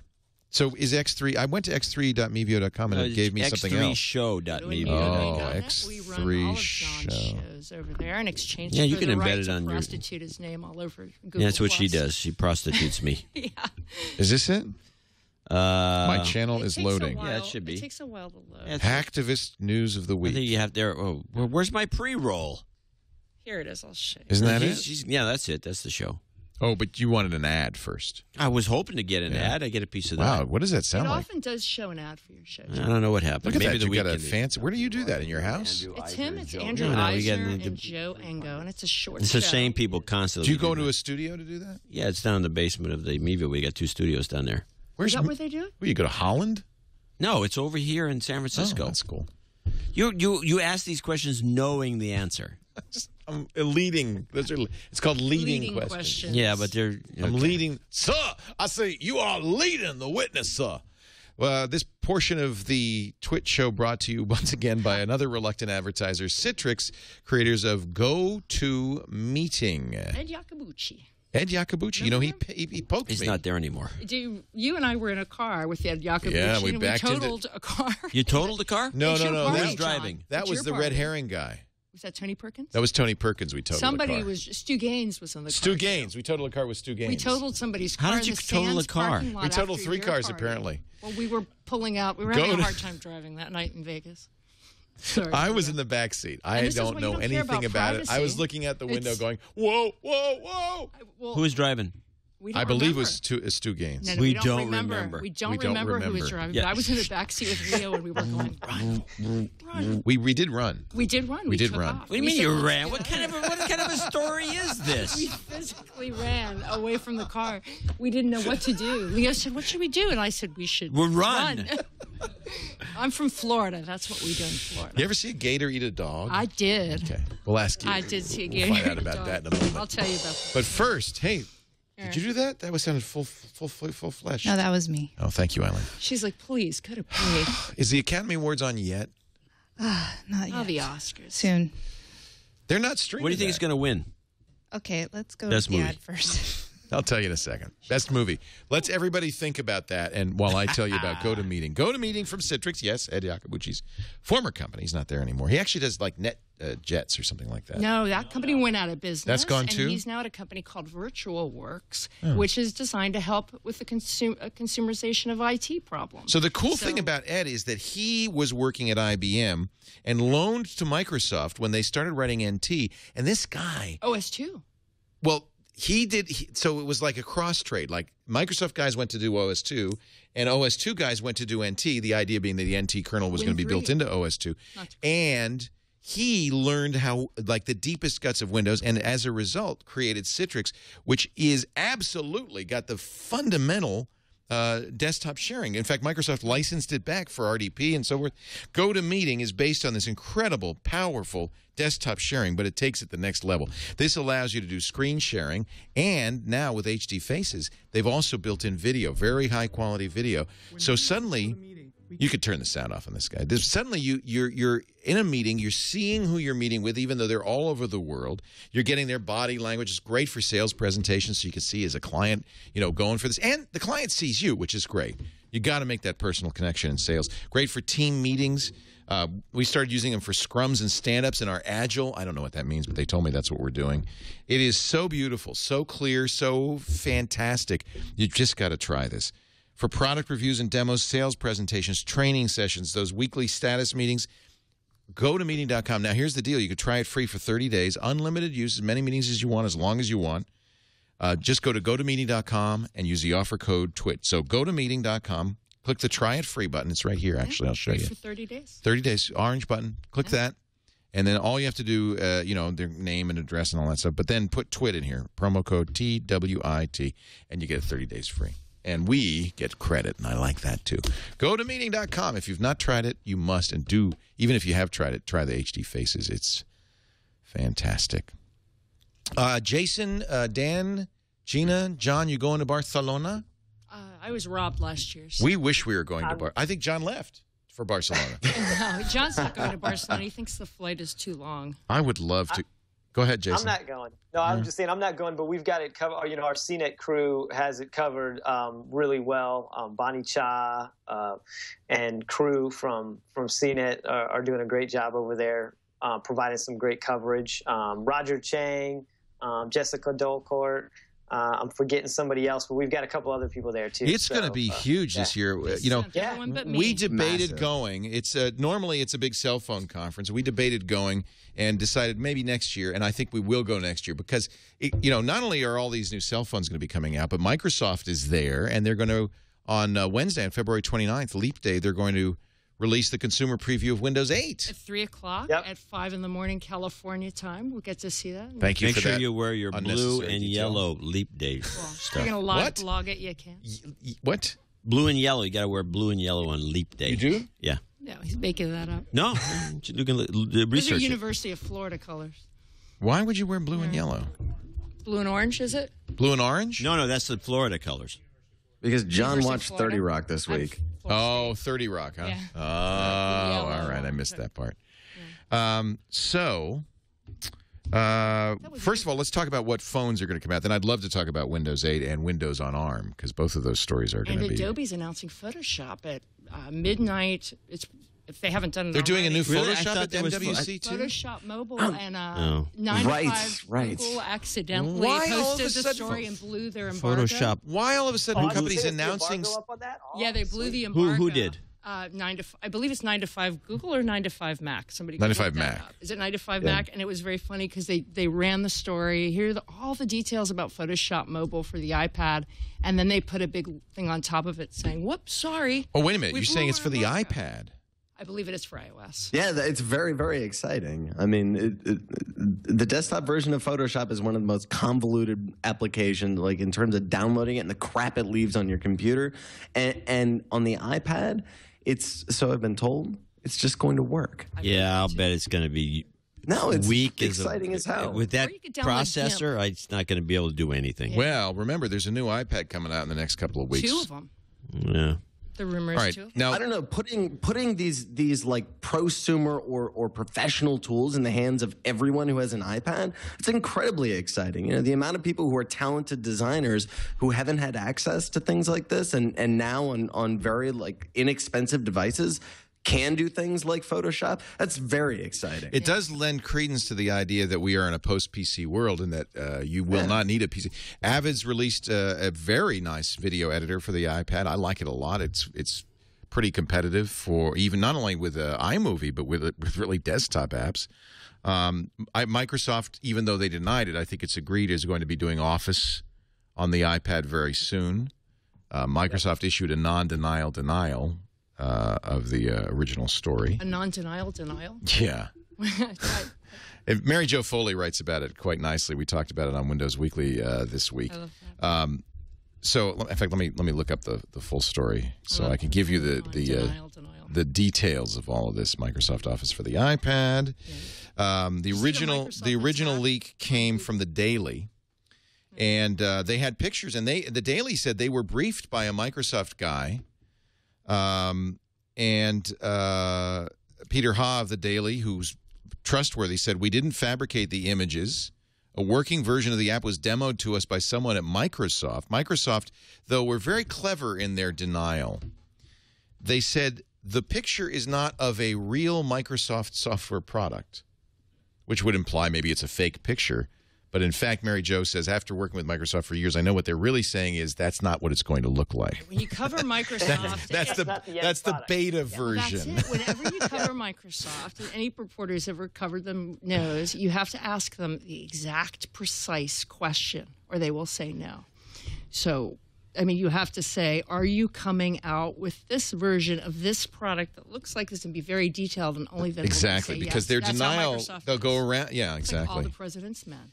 So uh, it's pretty. Cl- Mary Jo believes, and I think this is true, that the Daily is right. There will be an Office 15 for the iPad, very similar to the one for Windows on ARM, Word, Excel, PowerPoint, OneNote. They will be Metro, which will be very interesting. If App- now remember, Apple has to still approve this, um, but I think Apple would be. It's in Apple's interest to get Office on that. Microsoft bailed Apple. No, Yeah, but I think- owes- Apple owes Microsoft. In fact, I think Apple's probably re- going, hey, this is pretty cool. We got Avid, we've got Photoshop, we've got Office.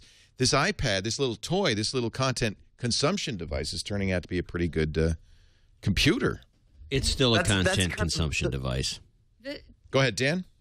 Yeah, th- I mean that's that's the excitement that I'm I'm kind of getting to. That that you know, if you think three, five, ten years ago, you had to have a, a device that was so expensive and so convoluted that it, it excluded most creative people from from that marketplace. Now, on a 500 or in two, three years, a 300 dollar device, you you can put these incredibly powerful tools into everyone's hands. That's that's exciting. Post PC means more people can do computing. It's exciting and scary. It's like you know, the, I don't the think ransom note creative when people have been do locked out of doing computing. Yeah. I'm sorry. Yeah, I, that's Well, no, I, I, but. I do, John. I, I don't think all creative people have been locked out of computing, but but middle class people and lower income people. I, I, I mean, we can't simply talk to the people who can afford to buy into this. and there are a lot of people, particularly if you think about Africa, if you think about India, the developing markets. There's a ton of creative people who've never seen these devices. Now we have revolutions being held on SMS. These devices are not just about the North American market, it's about the world and it's about putting powerful devices into the hands of creative and smart people. I We need it's some music behind I was him. just gonna say that was so inspiring. I would I want to buy it right Yeah, now. where's the flag? Put some flags up. No, No, and- but but, I'd go a step. I- I, I go a step agree with you, further, Dan. Dan. Is uh, Yeah. the touch interface also makes it more accessible. Right, if you can, if you can solve the issues of how do we how do we wrap complexity enough so that we can make it touchable. But you watch a kid use an iPad; it's so intuitive. They're immediately do little kids immediately doing stuff with mm-hmm. the iPad very comfortably, very easily. So I agree with you. I think that that, that touch is also very not just price, but also the interface is very important. more if you can solve those but less problems. powerful for power users, right? Don't don't forget it. It is less powerful for power users, and you know, and they're not going to get away from the tools they have now, even though they're more complicated and you know more sophisticated. But it is more accessible Right. to a lot more people, and, Right. and there's a lot of value in that. And and remember that as as Jobs said, not everybody needs a truck. So I th- actually this is a big question for professionals and we- you know our editors, uh, people next door doing uh, audio and video editing, uh, people doing high end music production. They're all using Macs and they're all asking the question: Is Apple going to continue to make tower computers, Mac Pros with expandability features that we need for high end work? Because it's very clear that Apple sees the real power of this of this platform, the iOS. I, I worked with the my, my producer when I was on uh, the first week of the campaign through through New Hampshire and Iowa. I mean, he's, he makes movies. We were thrown together and didn't know each other. He makes movies, and and he said his entire industry is moving over to the PC, which just blew my mind. And for that exact reason, they're concerned that. Apple is with Final Cut 10 or Final Cut X. That he just said no, we're moving to PC. So weird.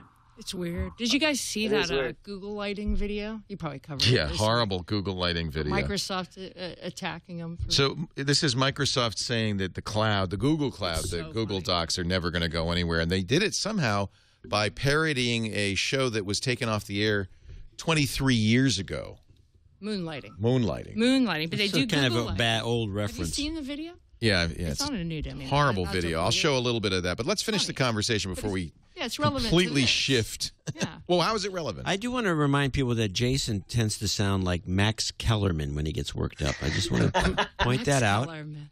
Who's Max Here. Kellerman?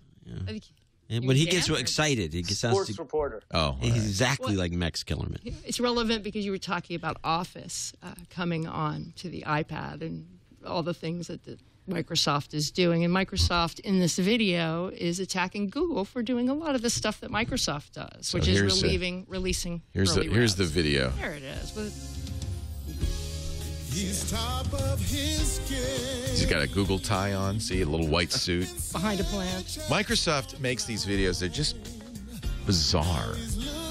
Yep. I wonder what they paid. For Oh, I'm sure they spent a lot of money, but the, I'm not sure who the audience is for this. First of all, moonlighting. Mostly for yeah, the moonlighting reference is pretty pretty It's tired. this That's- guy trying Yeah, to talk. yeah. That's supposed to be Bruce Willis with hair, and this is supposed to be Cybill Shepherd, apparently. Yep. Sit down. He's Mr. trying And to they're talk terrible her actors. using Google Docs. It's probably in house. I'm guessing. I think it's for sales. developing a cloud Yeah, sales guys love this stuff. and I'd like Yeah. You to implement It shows the age of the sales guy making this. This the best Yeah, part But he's is Totally. real, he's real Yeah. slick. best part is a little Yes. later on Sixty. when. Uh, You're going to change your software while we're so he's trying to sell her Google Docs, right? He's trying to, and And she's skeptical. she's saying, "What? Why would I use an open system like that?" And he's like, "Oh, don't worry." On who knows And what the future you know, for Google. you've seen the video. He says, "Who knows what the future is for Google Apps?" And then some guy on a conveyor belt man. With a fog machine, because I don't think his legs were moving. I, Dudes who slides thought they were cool in 1987. I like the sweater over his shoulders. I like his tie. This is Okay. just, I don't This get is historically bad. I mean, this it. It is. is. I can't. Yeah. If you, if you hear what she's saying, where sh- she's Look at trying to give the Microsoft Oh, argument back, you, you Doesn't don't it make Microsoft just Google look like the stupidest down market Well, company? if it was history? really Yeah. funny, it wouldn't. It would work. Yeah, yeah, but it's not. I mean, this is one of those it takes one to know one kind of things. Like To Micros- summarize, Microsoft looks at Google, right? And they that, that's why Microsoft thinks Google is its biggest competitor, and why they sort of totally took their eye off Apple, right? Is because they look at Mike or Microsoft looks at Google and they see all the stuff Google's doing, and they're like, they're doing all the same stuff that we used to do, and they're doing it better than we did, and um, they're going to burn us. Meanwhile, you know what they should have been looking at was, you know, Apple sort of undercutting the whole, um, you know, just eating the whole bottom out of the PC market with the iPad, and that's what's, you know, really hurt them. You know, John, I don't think this is for the sales team because at the end of it, you get a link to why-microsoftproductivity.com. Oh no, it's not for and sales, and a terrible uh, site, which I don't know what the hell well, it font could be for that IT. is. It's, it's it's for somebody other than us. IT. No, if you, if Yeah, you, it's made to validate biz And this is a guys. crazy logo. Yes. This is my why Microsoft I logo. know. Some It- it- horrible it looks font like that's somebody not made even this kerned up. right. I know. You, you know, the people they were aiming at commercial That's at not are- even are- kerned right. It's not. the kerning The is W poor. and the H do not kern out. But there have been a lot of funny videos this week. It's There a was- company that- worth billions and billions of dollars, and they can't kern a logo. Give me a break. That commercial is aimed at 50 year old IT managers who are right now Yeah. looking at signing big contracts and getting off of office and signing over to apps. And believe me, Yep. every single one I talk to right now is looking at it. I mean, at, Wow. they're at least considering it. I mean, every single one because it would save them. You know, they would spend a tenth of the amount on Google Apps that they spend. Right. You know, for their Microsoft license, licensing on Office. So, uh, and that's the only thing Google markets it on really is is um, is price. That's their main I'm- thing. ROI. I'm sorry to interrupt, man. I am so cool with with that exact person watching this and buying into this. And and the more they spend money on these crap products and buy into it, the faster they go out of business and the better for me and everyone else. I mean, please continue to make and watch these videos. I mean, We enjoy You- them. You are suffering from wishful thinking. we enjoy them. So, can I just get back briefly to Mobile World Congress? No. No. Yes. Two, one. Okay. Please. Well, so just beg you. I just beg you. Windows 8 is being. You're announced. not going, or are you going? No, I'm not going. There will there be any big phone announcements? Anybody? There's the HTC One. Yes. We're getting ready for that. Yeah. That was significant. Sorry, go go ahead, Leo. So HTC One is a 4.3 inch uh, screen. There's the S, X, and the V. Are you still using that big clunker? I love it. Four, I'm sorry, 4.7 inch screen. So this is HTC's response to the Galaxy Note, which Is is, that a their 5.3 inch screen. Is that their Windows uh, Mango phone? No, no, no, no. This is Android. This Is their Android? Yeah. They've got a great. Well, you, you threw me on that. I'm looking. No, no, it's No, Android. They do yeah. have a Mango. It, it, it's But Android. this is ice cream sandwich. It's oh. 4.0. Is this Yeah. uh, ice cream s- sundae or J- or Jello or what is the next Ice one? Ice cream sandwich. Jelly bean is the next one. This is uh, 4.0, but Sense on top of it, which is the first time we've seen anybody's skin 4.0. Skinned. It's LTE for AT and T. It's LTE, the ice cream's AT&T. been left out too long. I think this is attractive because of the screen size, which is a little smaller than the Galaxy Note, but it's bigger than anything else on the market. The other interesting thing is that uh, they the partnered with of that thing. Dropbox, so all of these phones are going to come with 25 gigs of. Um, uh, you get 25 gigs Dropbox. That explains why Box.net slash com announced three days ago that if you have an Android phone and you sign up for our, you'll get 50 gigs free. I, it sounded like there was something coming, so that's what it was. They're trying to get people to sign up before Dropbox uh, made this deal. What now? Eileen and hosts are all about Android, so she, she should really be in. She's the I was just gonna Android. she why, why don't you send her? She loves going to Spain. I know. Yeah, you love and you and her, you and she were uh, caught uh, eating churros in Madrid, I believe. Churros, indeed. He said there were no churros in Madrid, but, But you proved were. him wrong. I there were churros wrong. in Madrid. And they have This this, weird HTC chocolate that's like Chocolate It's like mud. Really? Yeah, the chocolate, hot chocolate. What else, Eileen? Are we uh, Or expecting? Jason has this something he wanted to say I, I was going to say this one. There, there is one reason why this HTC phone is is uh, significant, and that's it, it. It really is an answer as much to their um, HTC Titan 2, which they announced it, which was their big thing that And they that was- announced at CES. and that's a Windows phone, of course. It's a Windows phone, right? So at CES, their big announcement was a Windows phone, and there were a lot of questions. Is HTC sort of backing off of Android, right? Because um, Right. they have gotten crushed by Apple in the courts, and they don't have the deep pockets And- that Samsung does. and by Samsung in the marketplace. Yeah. That's right. So they're, they they got crushed by Apple, and that sort of made them kind of reticent. And they've gotten crushed by Motorola at the end of last year. They got crushed by Motorola and Samsung in the market, and um and they looked like a company that was backing away maybe from Android because Microsoft was giving them apparently some better um, patent protection with um, Windows Mobile or Windows Phone than they were getting with, from Ah, Google with. Android, right? So now this is looking like okay, they're they're sort of back in the game. Maybe Google um, buying Motorola in a sense, and them having access to more patent protection is is sort of letting HTC step forward. Um, and and really because this looks like the kind of phones we're used to seeing from HTC, right? They're they're sort of they had been one of the boldest innovators Well, this- um, and the and the leading the leading uh, device makers. I, right? I love my note, but this makes me want it. First of all, it's quad core Tegra 3.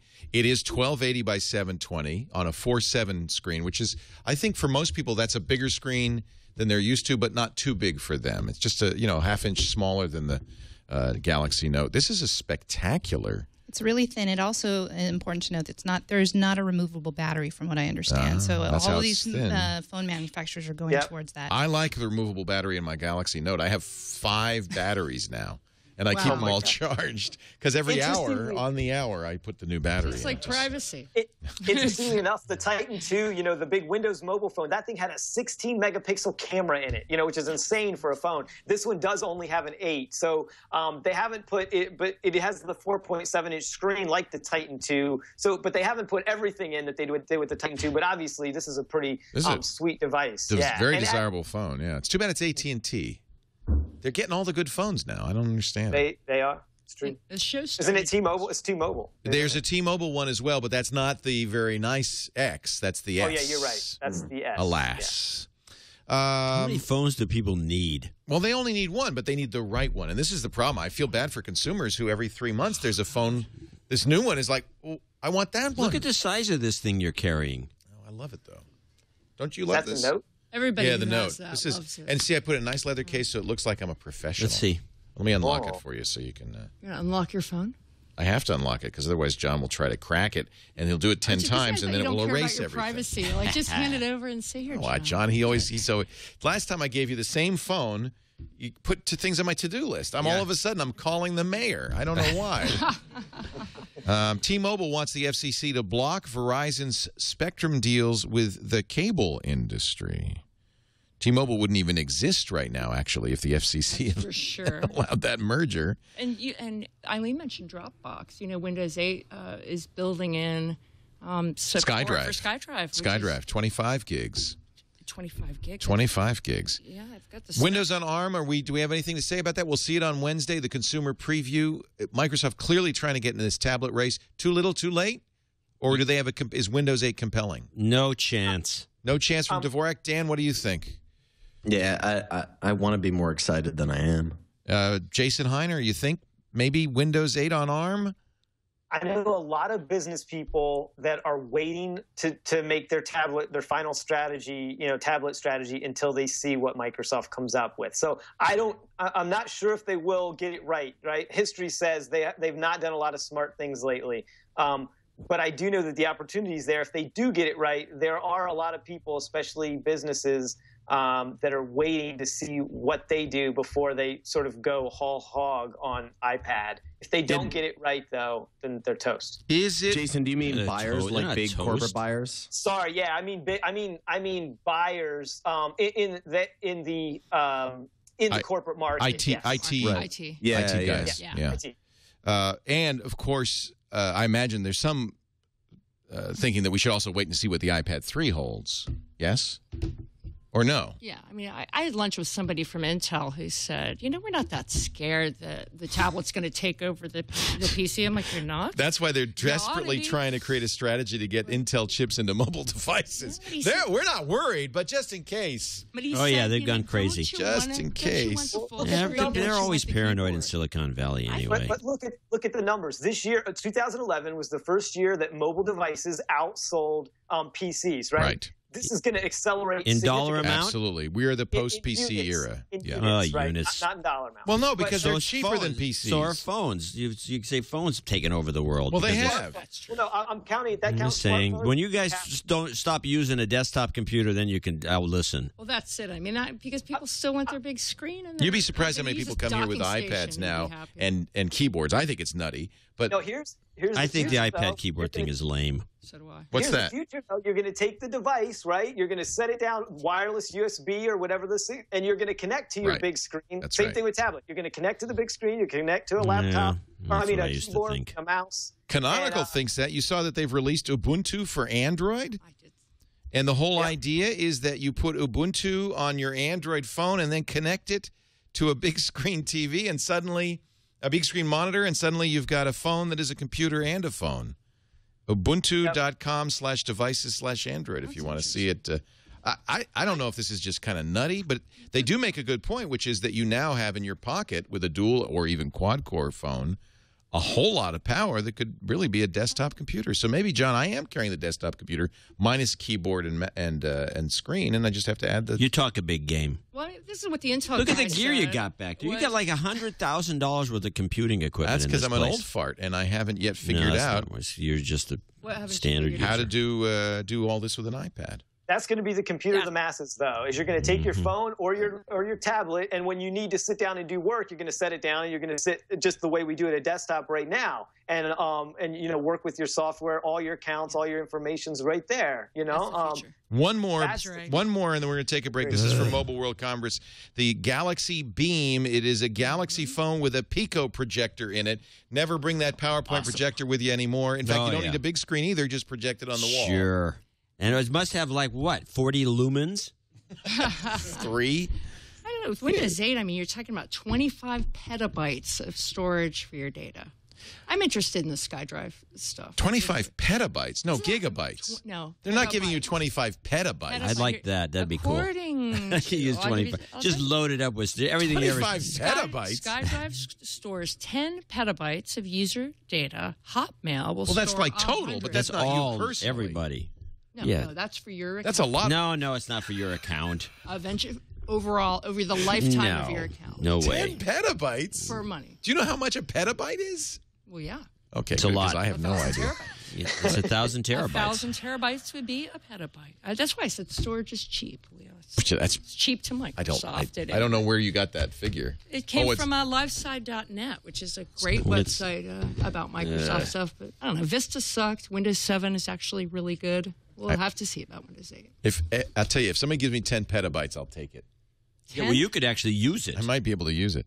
Uh, let's talk a little bit about Audible.com. We are we are blessed. We are blessed with a great panel today, including the fabulous Dan Patterson. Dan, where can we follow uh, your new shows, your podcast network, all of that? What's the website? Well, uh, there will be more information at copoint.com. It's brand Although new. we are so you haven't. Yeah, well, I, I mean, it's it's about six months old, but uh, I I mean, I'm sure you can hear in this room we're still waiting for our acoustical foam to come in, so we're not we're not going to give you anything publicly until we we zero in on the sound. But uh, copoint.com, C O P O I N T. K K O. It comes Oh. from the game of Go. Uh, the oldest game in the world. If you uh, a co fight is a balance back and forth, Co uh, from the Japanese word for mouth. Now, yeah, or that. Yes. No, but that's why they use that in Go because it's a it's a mouse. oh, I didn't know that. Yeah. Interesting. Interesting. Go is one of the few games that a computer cannot play well. That's Hum- right. Chess is derived from Chess Go. chess is all over. You know, computers beat us. But Go is so difficult that a computer cannot be made to beat the best or even the somewhat good Go players. CoPoint. which is why we called the company I like CoPoint. it. I like it. You guys did. So when do you have a, d- a date that you plan to have this uh, happen? Yeah, I think uh, the first show we're going to do is uh, e-commerce. Uh, we're going after like very like small, small, small slivers of audiences. We don't want, you know, uh, Gawker type numbers. We want to own markets, Yeah. right? So the first is, it, I mean, much like you, it, narrow casting is far more important. I mean, having people care about the content that humans make is more important than getting tons of clicks. I got a term Um, for that, Dan, and I got it from a New York Times article about artisanal foods, like people making beef jerky in Brooklyn. We are artisanal media. We're handmade yes. media. Interesting. So perfect, yeah, Nice. yeah. Good And- word for that. We craft it for a specialty audience that is It's never discerning. ends. Never it- ends. yeah. The bull crap. Arti- Welcome to the Artisanal Media Hour. Uh, this show brought to you by Audible.com. Audible, we love Audible. Everybody We loves Audible. love Audible. I'm not. I'm going on a plane flight as soon as this show's over to Seattle. Two hours. I can't wait because I will have two hours of the. Uh, uh, cla- it's a Game of Thrones. No, the second one, the Clash of Kings. I'm trying to finish it before HBO uh, puts out the second series of the Game of Thrones uh, miniseries, and I just it's so great. You put the headphones on. You lean back and you enter a new world, and that's why audiobooks, I think, are the future in some ways of reading. In fact, when a new book comes out, I look on audible.com first because that's where I want to. That's what I want to listen to it if I can. It's really the best service. Isn't it great? Uh, if you go there right now, audible.com, browse around, there's a 100,000 titles. And uh, we've got a 30 day free trial. You can get it right now if you go to audible.com slash twit2, and you'll get two books, two free audiobooks. To get two, this is you're signing up for the platinum plan. That's two credits a month. Most books are a single credit, including big long books. Did you see they just released uh, Stephen King's The Stand? 47 hours and 56 minutes. That- Forty-seven hours. oh, it's such a great book too. I downloaded it. It's on my. Uh, who it's on, the poor? Who was the poor guy who had to read that? you want to hear Grover Gardner? Poor Grover. Here we go. Let's play a little bit. ago, sat on number 93 just north of Arnette. Oh, this guy's a Pisant great- I Four love Street this. Berg, about 110 miles from Houston. What they have, I just listened to it- eleven what do you twenty think two you got sixty paid? What do you get paid by the hour? For Um, actually, uh, I know exactly how much. yeah, I know you paid. would. What, what is it? because they offered me. They asked me if I wanted to do uh, James D. Watson's book, and I just don't have time. Five grand. Five grand for a book? Yeah. it was What it. about this book? Oh, I, that book. mic That would book. Well, five grand for an eight or nine hour book, I think. So this would be, you know, About 20 twenty grand. grand. Not Eh. Eh, bad. Yeah, reading You're going to know, read it you know anyway. what? These guys are, repeat. for the most part, Broadway actors who have some, you know, and a couple extra hours a day to go in and read. That they have the studios there in Newark, and they just go and they read, and they it supplements their income. But they are performers, and it's wonderful. Hmm. Listen to Craig Wasson, eleven twenty two sixty three. He does such a great job of all the accents. He's got the main accent, the Texas. Oh, it's just great. Anyway, um, Audible. So here's the deal. Here's a tough challenge. You got to you got two credits to figure out how you're going to use those two credits. Go to audible.com. I can tell you there's just stuff in every category bestsellers, nonfiction, history. What happened here? They have a Where'd it go? Where'd it Jobs go? book up there. Jobs About- book I've is got- here. I've yeah. Your book, auto I Was, is there. I wasn't even going to mention I was. I Was. Sunday. There's uh, Baratunde's How to Be Black. He reads it, which is awesome. I've got an Um, audible recommendation. Yes, please. Um, you know they have more than just uh, books there right they have uh, they have this great series um, called the modern scholar which is professors basically just Hmm, um, I didn't know that. doing doing their books you know so i've got this one here it's uh, i know it's probably it's hard to see there anyway it's uh it's called Stranger Than Fiction: The Art of Literary Journalism by Professor uh, William McKeen from the University of Florida. It, it sounds a little more highfalutin than what it is. It's basically a, um, a history of, of modern journalism from about um, you know late or early 1800s forward. But he tells it in such a great way. I mean, the guy's a great storyteller. He talks about Mark Twain. He talks about um, you know the idea of of sort of the Wall Street Journal versus sort of the rumor mags, which is what essentially the uh, um, you know the early newspapers of the early uh, 19, uh, 20th century were, and it, it's so parallel to what's happening today, right? You see the story of what's happening today, um, and the way we're we're doing journalism, and then the way there's sort of rumor sites, right, versus more traditional media sites, and it, it really is a similar story being told over and over again. But there's a lot on Modern Scholar. If you just look up there, there's awesome stuff. No Um, lots of great kidding. stuff. What is it called? Yeah. again, Jason, thank you so much because there there are literally hundreds of these. Uh, 131 modern scholars, and these are just these are lectures. Here's grammar and rhetoric, Anglo-Saxon world, uh, six months to change the world at Paris Peace Conference of 1919, a history of ancient Rome, aston- astronomy, uh, philosophy, the history of Venice. That's Well, really so. These are college lectures, basically. Uh, essentially, but they really, they at least the ones I've gotten, they pick the really good professors. Wow. I mean, they Wow. pick the guys you would want to, and and ladies that you'd want to listen to. Um, and all the ones that I've had, um, it's the professors themselves giving the lectures, That's neat. and uh, they do a great job. And in this case, That's the uh, there's an accompanying reference guide, so you've got some. You this is That's a great Thank you. I didn't even know you. about Yeah. it. Yeah. Sure. So Wow. I want you to go see. There's the P- PDF of this thing. That's cool. So you get you get additional materials. Is our Uh, book on there, Leah? This is from Rutgers. Your book is on No, there. I our book. was. the book you no, and I wrote. nobody ever would read that book. That's a I- silly book. No, the- I It's a think silly anybody- book. What was the name of it? 101 computer answers, right? Or What was the name of our book? Well, you guys 101 don't even computer remember answers the name you of need the to book. know. Well, you know why? 101 computer answers you, you need, to, know. right? We wanted to call it "How do I get the dog hair out of the disk drive?" But the but the publisher didn't like that. That's right. The publisher gotta was publish your totally own against So nowadays. immediately, like literally a week after our book comes out, 101 computer answers you need to know. Kim Komando comes out with a book, 1001 1001. computer answers Oh. you She need to know. She topped you. She did. So what are you going to buy? A hundred or a thousand? it was a sad. Book never 100 sold. It a sad year. Hundred quality. That's right. And it had a cute picture of Gina on the had a front. cute, cute picture of you. They had little cartoons. We were driving a on the little front. car. Anyway, that's not on Audible. Oh, brother. But not on lots of good stuff is. Go to audible.com slash twit2 and sign up today. You'll get uh, two books absolutely free. Cancel at any time. Those books are yours to keep forever. Audible, we love them. Uh, what were we? Gonna, I had some other things I wanted to talk about. Google to oust Motorola mobility chief. Now that they're taking over Motorola, they're firing the CEO. They've got one of their own in there. Oh, they got to do that. Are they Microsoft. firing him or is he leaving? It says this story uh, from uh, Wired says Google to oust. Yeah, that's. That sounds like oust. Yeah. I've been trying to figure this out. Pushing Actually, out. I, it's a little unclear whether um, you know Sanjay got um, Sanjay Jha got pushed out, or if Or you if know he he just decided walked. to leave. Right. Yeah, I mean, you can make an argument that he did some good things, right, to um, get Motorola turned around and really focused. I mean, he was the one who decided, look, we're, we're only going to do Android. Um, we're, we're not going to try to you know go in a hundred different directions, and and that was a pretty smart move for them. It was a pretty it was a winning move, and obviously it's what got them bought by Google. Um, so uh, I, I my sense is uh, I just haven't you know gotten any good sources on it yet. Is that he was just ready to you know move on, and, and that part of his deal wasn't that he had to stick around for two years, like, Right. like there are in a lot of these things. what is germane though is that somebody from inside Google, Dennis Woodside, will be running Motorola Mobility, and it does. What what people are looking very carefully, HTC and and others are looking very carefully to see is is Google going to give Motorola a real advantage in the Android marketplace, or do we still have a chance? Uh, to make Android phones that can compete. Remember when the purchase Yeah, happened, Larry Google Dignan at said they ZDNet wouldn't has a good it. I'm sorry. Larry's Larry great. ZDNet has a good piece uh, on this, um, and you know he he really thinks that they're going to be uh, out of the the device business, you know, pretty much uh, pr- pretty quickly. You know, the guy he talks about the fact the guy that they're putting in the, in in um, charge is really an advertising guy, right? That that says a lot. Uh, it's not a device guy.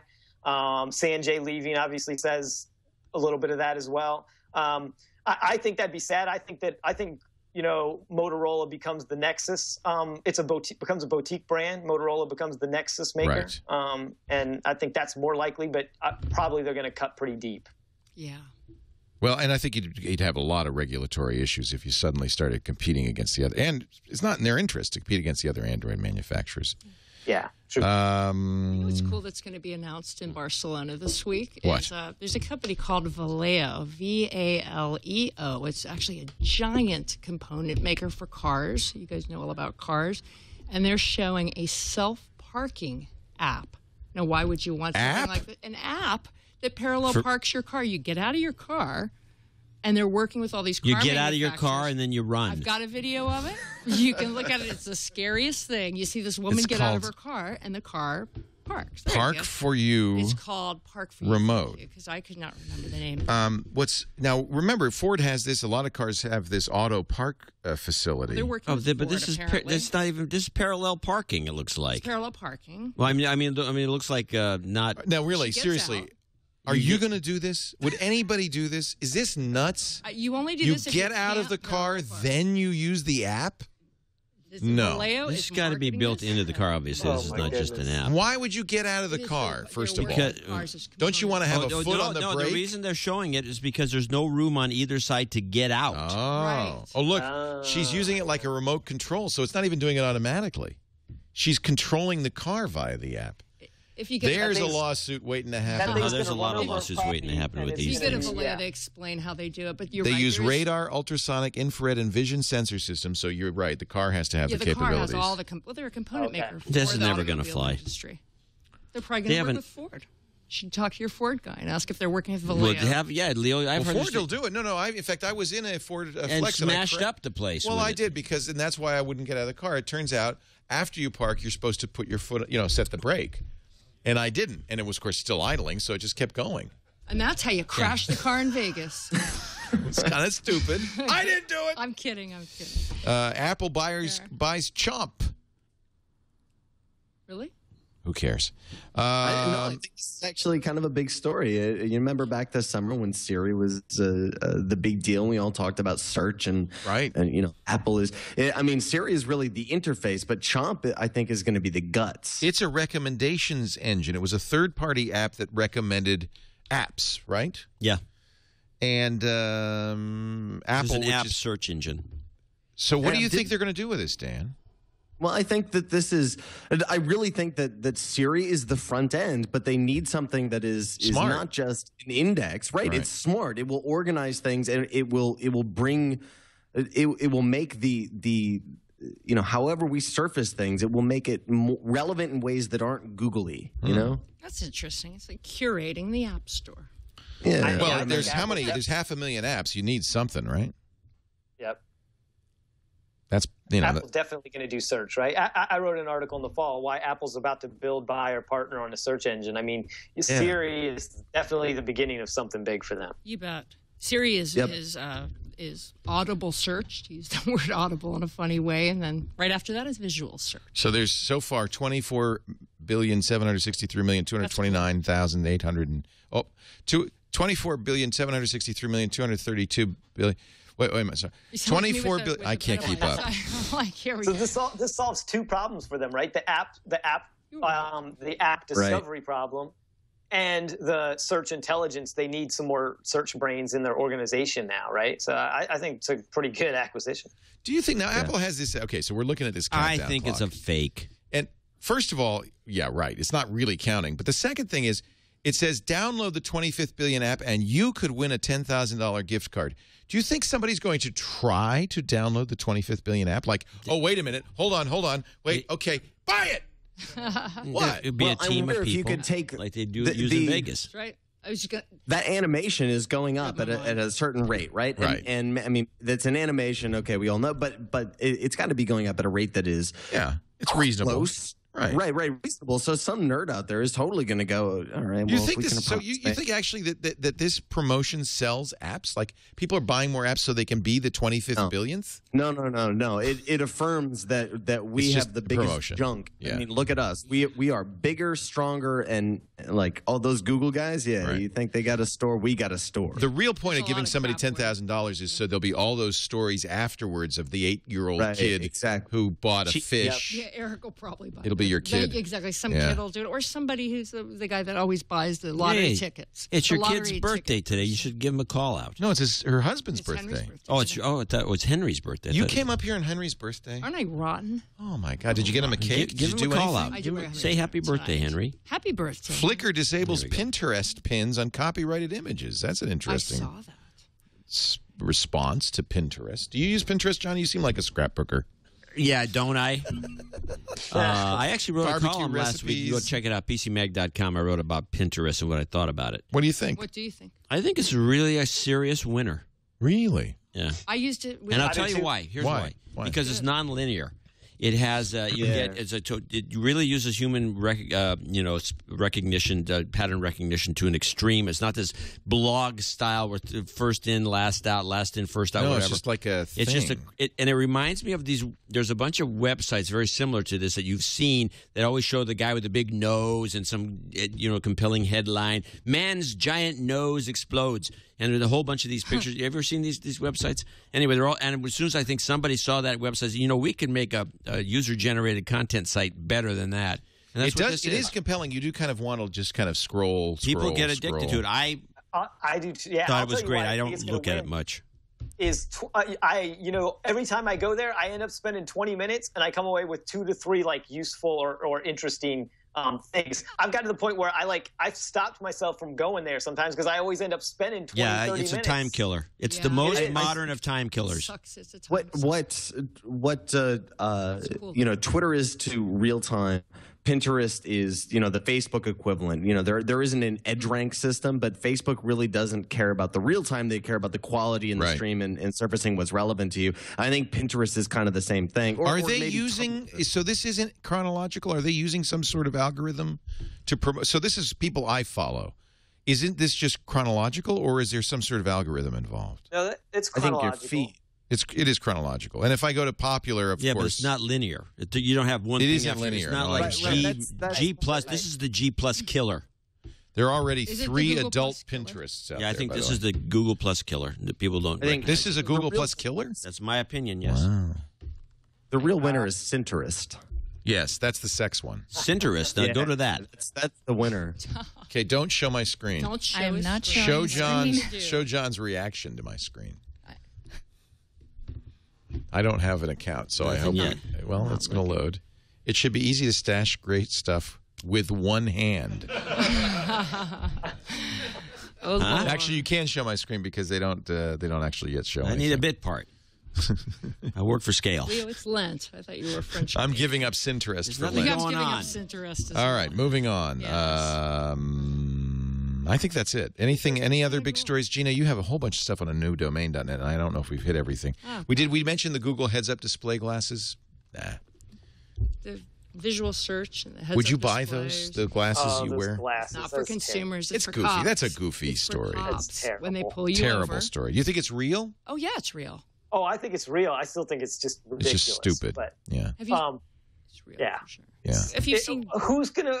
Yeah, who? it- You know what it reminds me of? Remember Microsoft did the smartwatches a couple years ago. That's what it reminds me. of, And they and A they the people in a Spot Watch. The Spot Watch. Spot Watch. They yes, just yes, turned off the Spot Spot Watch. server on January 1st. you know, the, these heads-up displays are going to be really vertically targeted. Do okay, I'm just curious. Do you wear a watch? rental Do you wear a watch, Jason? No, not anymore. Do you wear a watch? Never. Do you wear a watch? No, not today. Do you wear a watch, Dan? Only when I'm uh, backcountry. Like Nobody wears watches anymore, hiking. right? It's dead. Like You watches are use dead. your phone. Somebody's going like that. I have a watch on, but you know that's just because I'm a fashion-forward, Pinteresting kind of guy. What does that No watch say? Is it a, a watch fake? Is it a watch that says something? Oh, it's a. It's a. It's just a watch. It just it doesn't. It's not even digital. It doesn't have the date. Nothing. It's just a watch. It's a dog. It's not a dog. It's a watch. What's the WikiLeaks story? I wonder why nobody wears watches anymore. Is Because it they just 'cause you use got- their phone you and don't you get really accurate time. Okay. What's about Yeah. WikiLeaks? Anything? WikiLeaks. There's a there's a big WikiLeaks story. There's to always a chat. WikiLeaks story. That's story. right. I was gonna say there's a there's a story every day, guys, from WikiLeaks. What is the WikiLeaks story, chat Yeah, room? tell us, chat room. What Is it more interested? WikiLeaks to publish security think tank emails. There it is. Reuters.com just published this story five minutes ago. That's how fresh. That's how fresh this is. The anti-secret group, secrecy group, WikiLeaks. Is that how we define WikiLeaks now? The anti-secrecy the group. anti-secrecy group. Who I'm came a up with that one? Yeah. AP or Reuters said it would begin publishing more than 5 million emails tomorrow from a US based global security think tank, apparently uh, obtained by hackers. Right on time for Strategic USA. Forecasting Incorporated, or Stratfor. Oh, that is, Stratfor is big, actually. Yeah. Uh, Austin, Texas. They are a subscription based provider of, quote, geopolitical analysis. So it's a private spy firm, basically. Wow. That's what they do. so news writers for a new domain, get on that story. Right That's now. interesting. I don't know what it a- means. You probably big- have two people that work for them. Yeah, that's true. Stratfor's computers were hacked into at least twice in December.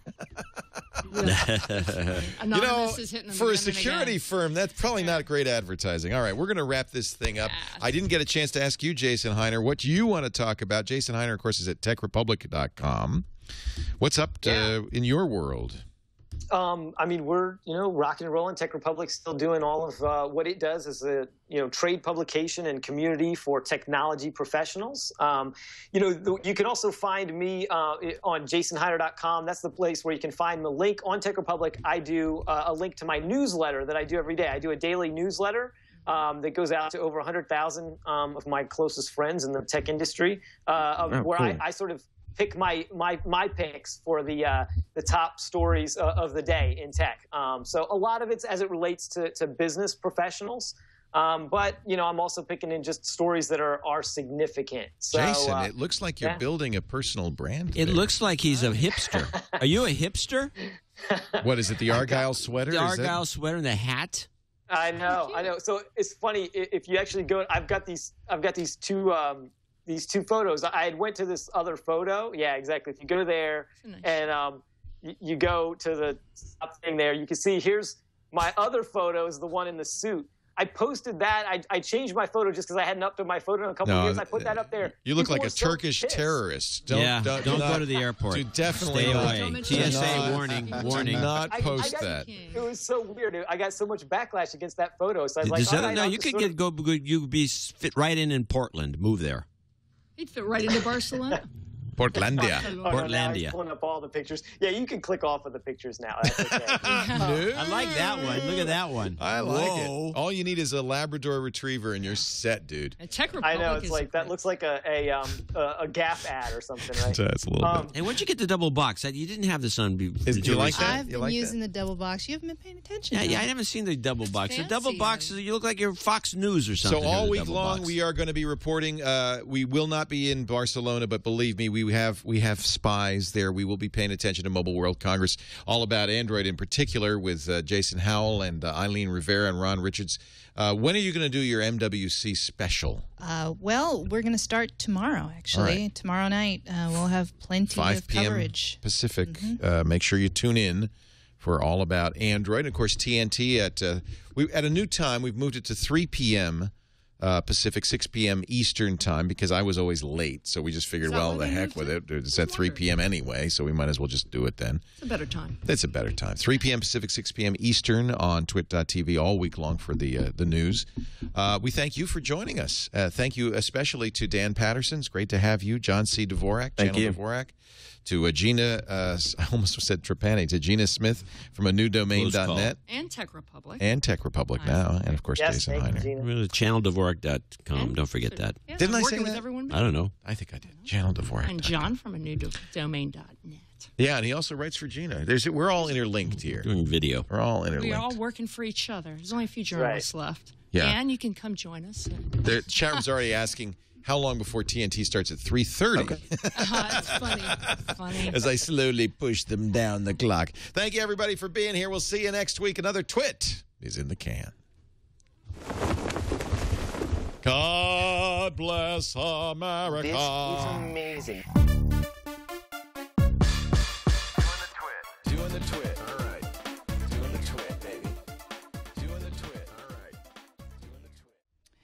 Nailed it. Thank you, sir. I was supposed to Nailed it. remind you about a letter um, that Archie. I was had- going to read that. was Shoot. during the show or just in yeah, I between wanted to shows? read that. I forgot. Well, we could insert it if you want. It's a really great. Well, let me just read it now, and you can decide. Yeah, I'll let I'll let you be the judge. Okay. Um, this was an email that we got. I thought was actually John. You might be interested in this. Kind of All right, interesting. well, I'll turn all the mics on. Is his name Archie? Or or no, I got it from Eva. Eva sent it to me. That's right. Hello from Khartoum. Hmm. Hi there, writes Archie. I've been meaning to get in touch with the Twit Cottage for years. Finally decided to do it. You don't have to read my words, but I'm happy to be writing them. I am Aki. It's he says Aki or Achi, but his his full name is Archibald. I've been listening to Twit since the early days, and it's been a constant source of information, smiles, and company during the years. Although I'm from England, I work internationally. You tell me what this guy does. I find myself in conflict zones from Beirut to Jaffna, Monrovia to Gulu. I didn't really expect it. Bizarrely, I was an archaeologist for years It's a long story. So, anyway, I'm in some places that aren't the most genial in the world, but through it all, I've somehow managed to find an internet connection in a world strewn with the mess that people create, and have downloaded as many TwitNetcasts as I can get my ears on. I've driven through tsunami destruction, barely awake after months of relief work, listening to early twits on an old HP laptop the size of a paving slab, and wondering how these war ravaged people became part of a natural disaster. I've fallen asleep to John C.'s ranting, the only way to overpower the noise of the army bombing the LTTE in Sri Lanka as the rattle of AKs competed with tropical crickets. wow! I was in Liberia sneaking downloads from the work VSAT system and listening with the curtains closed and the outside world firmly outside so I could drift off to Petaluma and join friends I've never met talking about tech I never saw but loved anyway. I was in Uganda just after the war, rebuilding that beautiful country and walking along the red brown roads made vibrant with the light of Gulu City sunset, watching women carry water filled jerry cans on their heads and hearing the latest about Android on my iPod, smiling at the dichotomy of the modern world. I found my true love there, too. She'll be my wife in April. I now find myself in Khartoum, Sudan.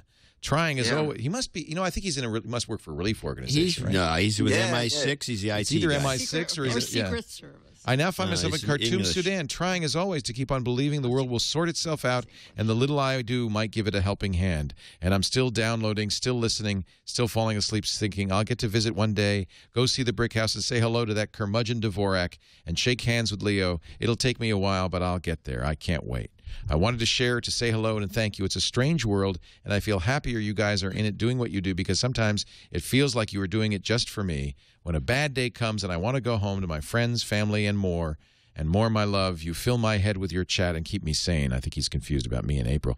Take care. Warm regards, much love, and keep on keeping on. Archie, can you do me a favor? Drink a cold beer for me Sunday during the next twit. It's a dry country here, and I miss a cold one, you know, just once in a while. Nanite.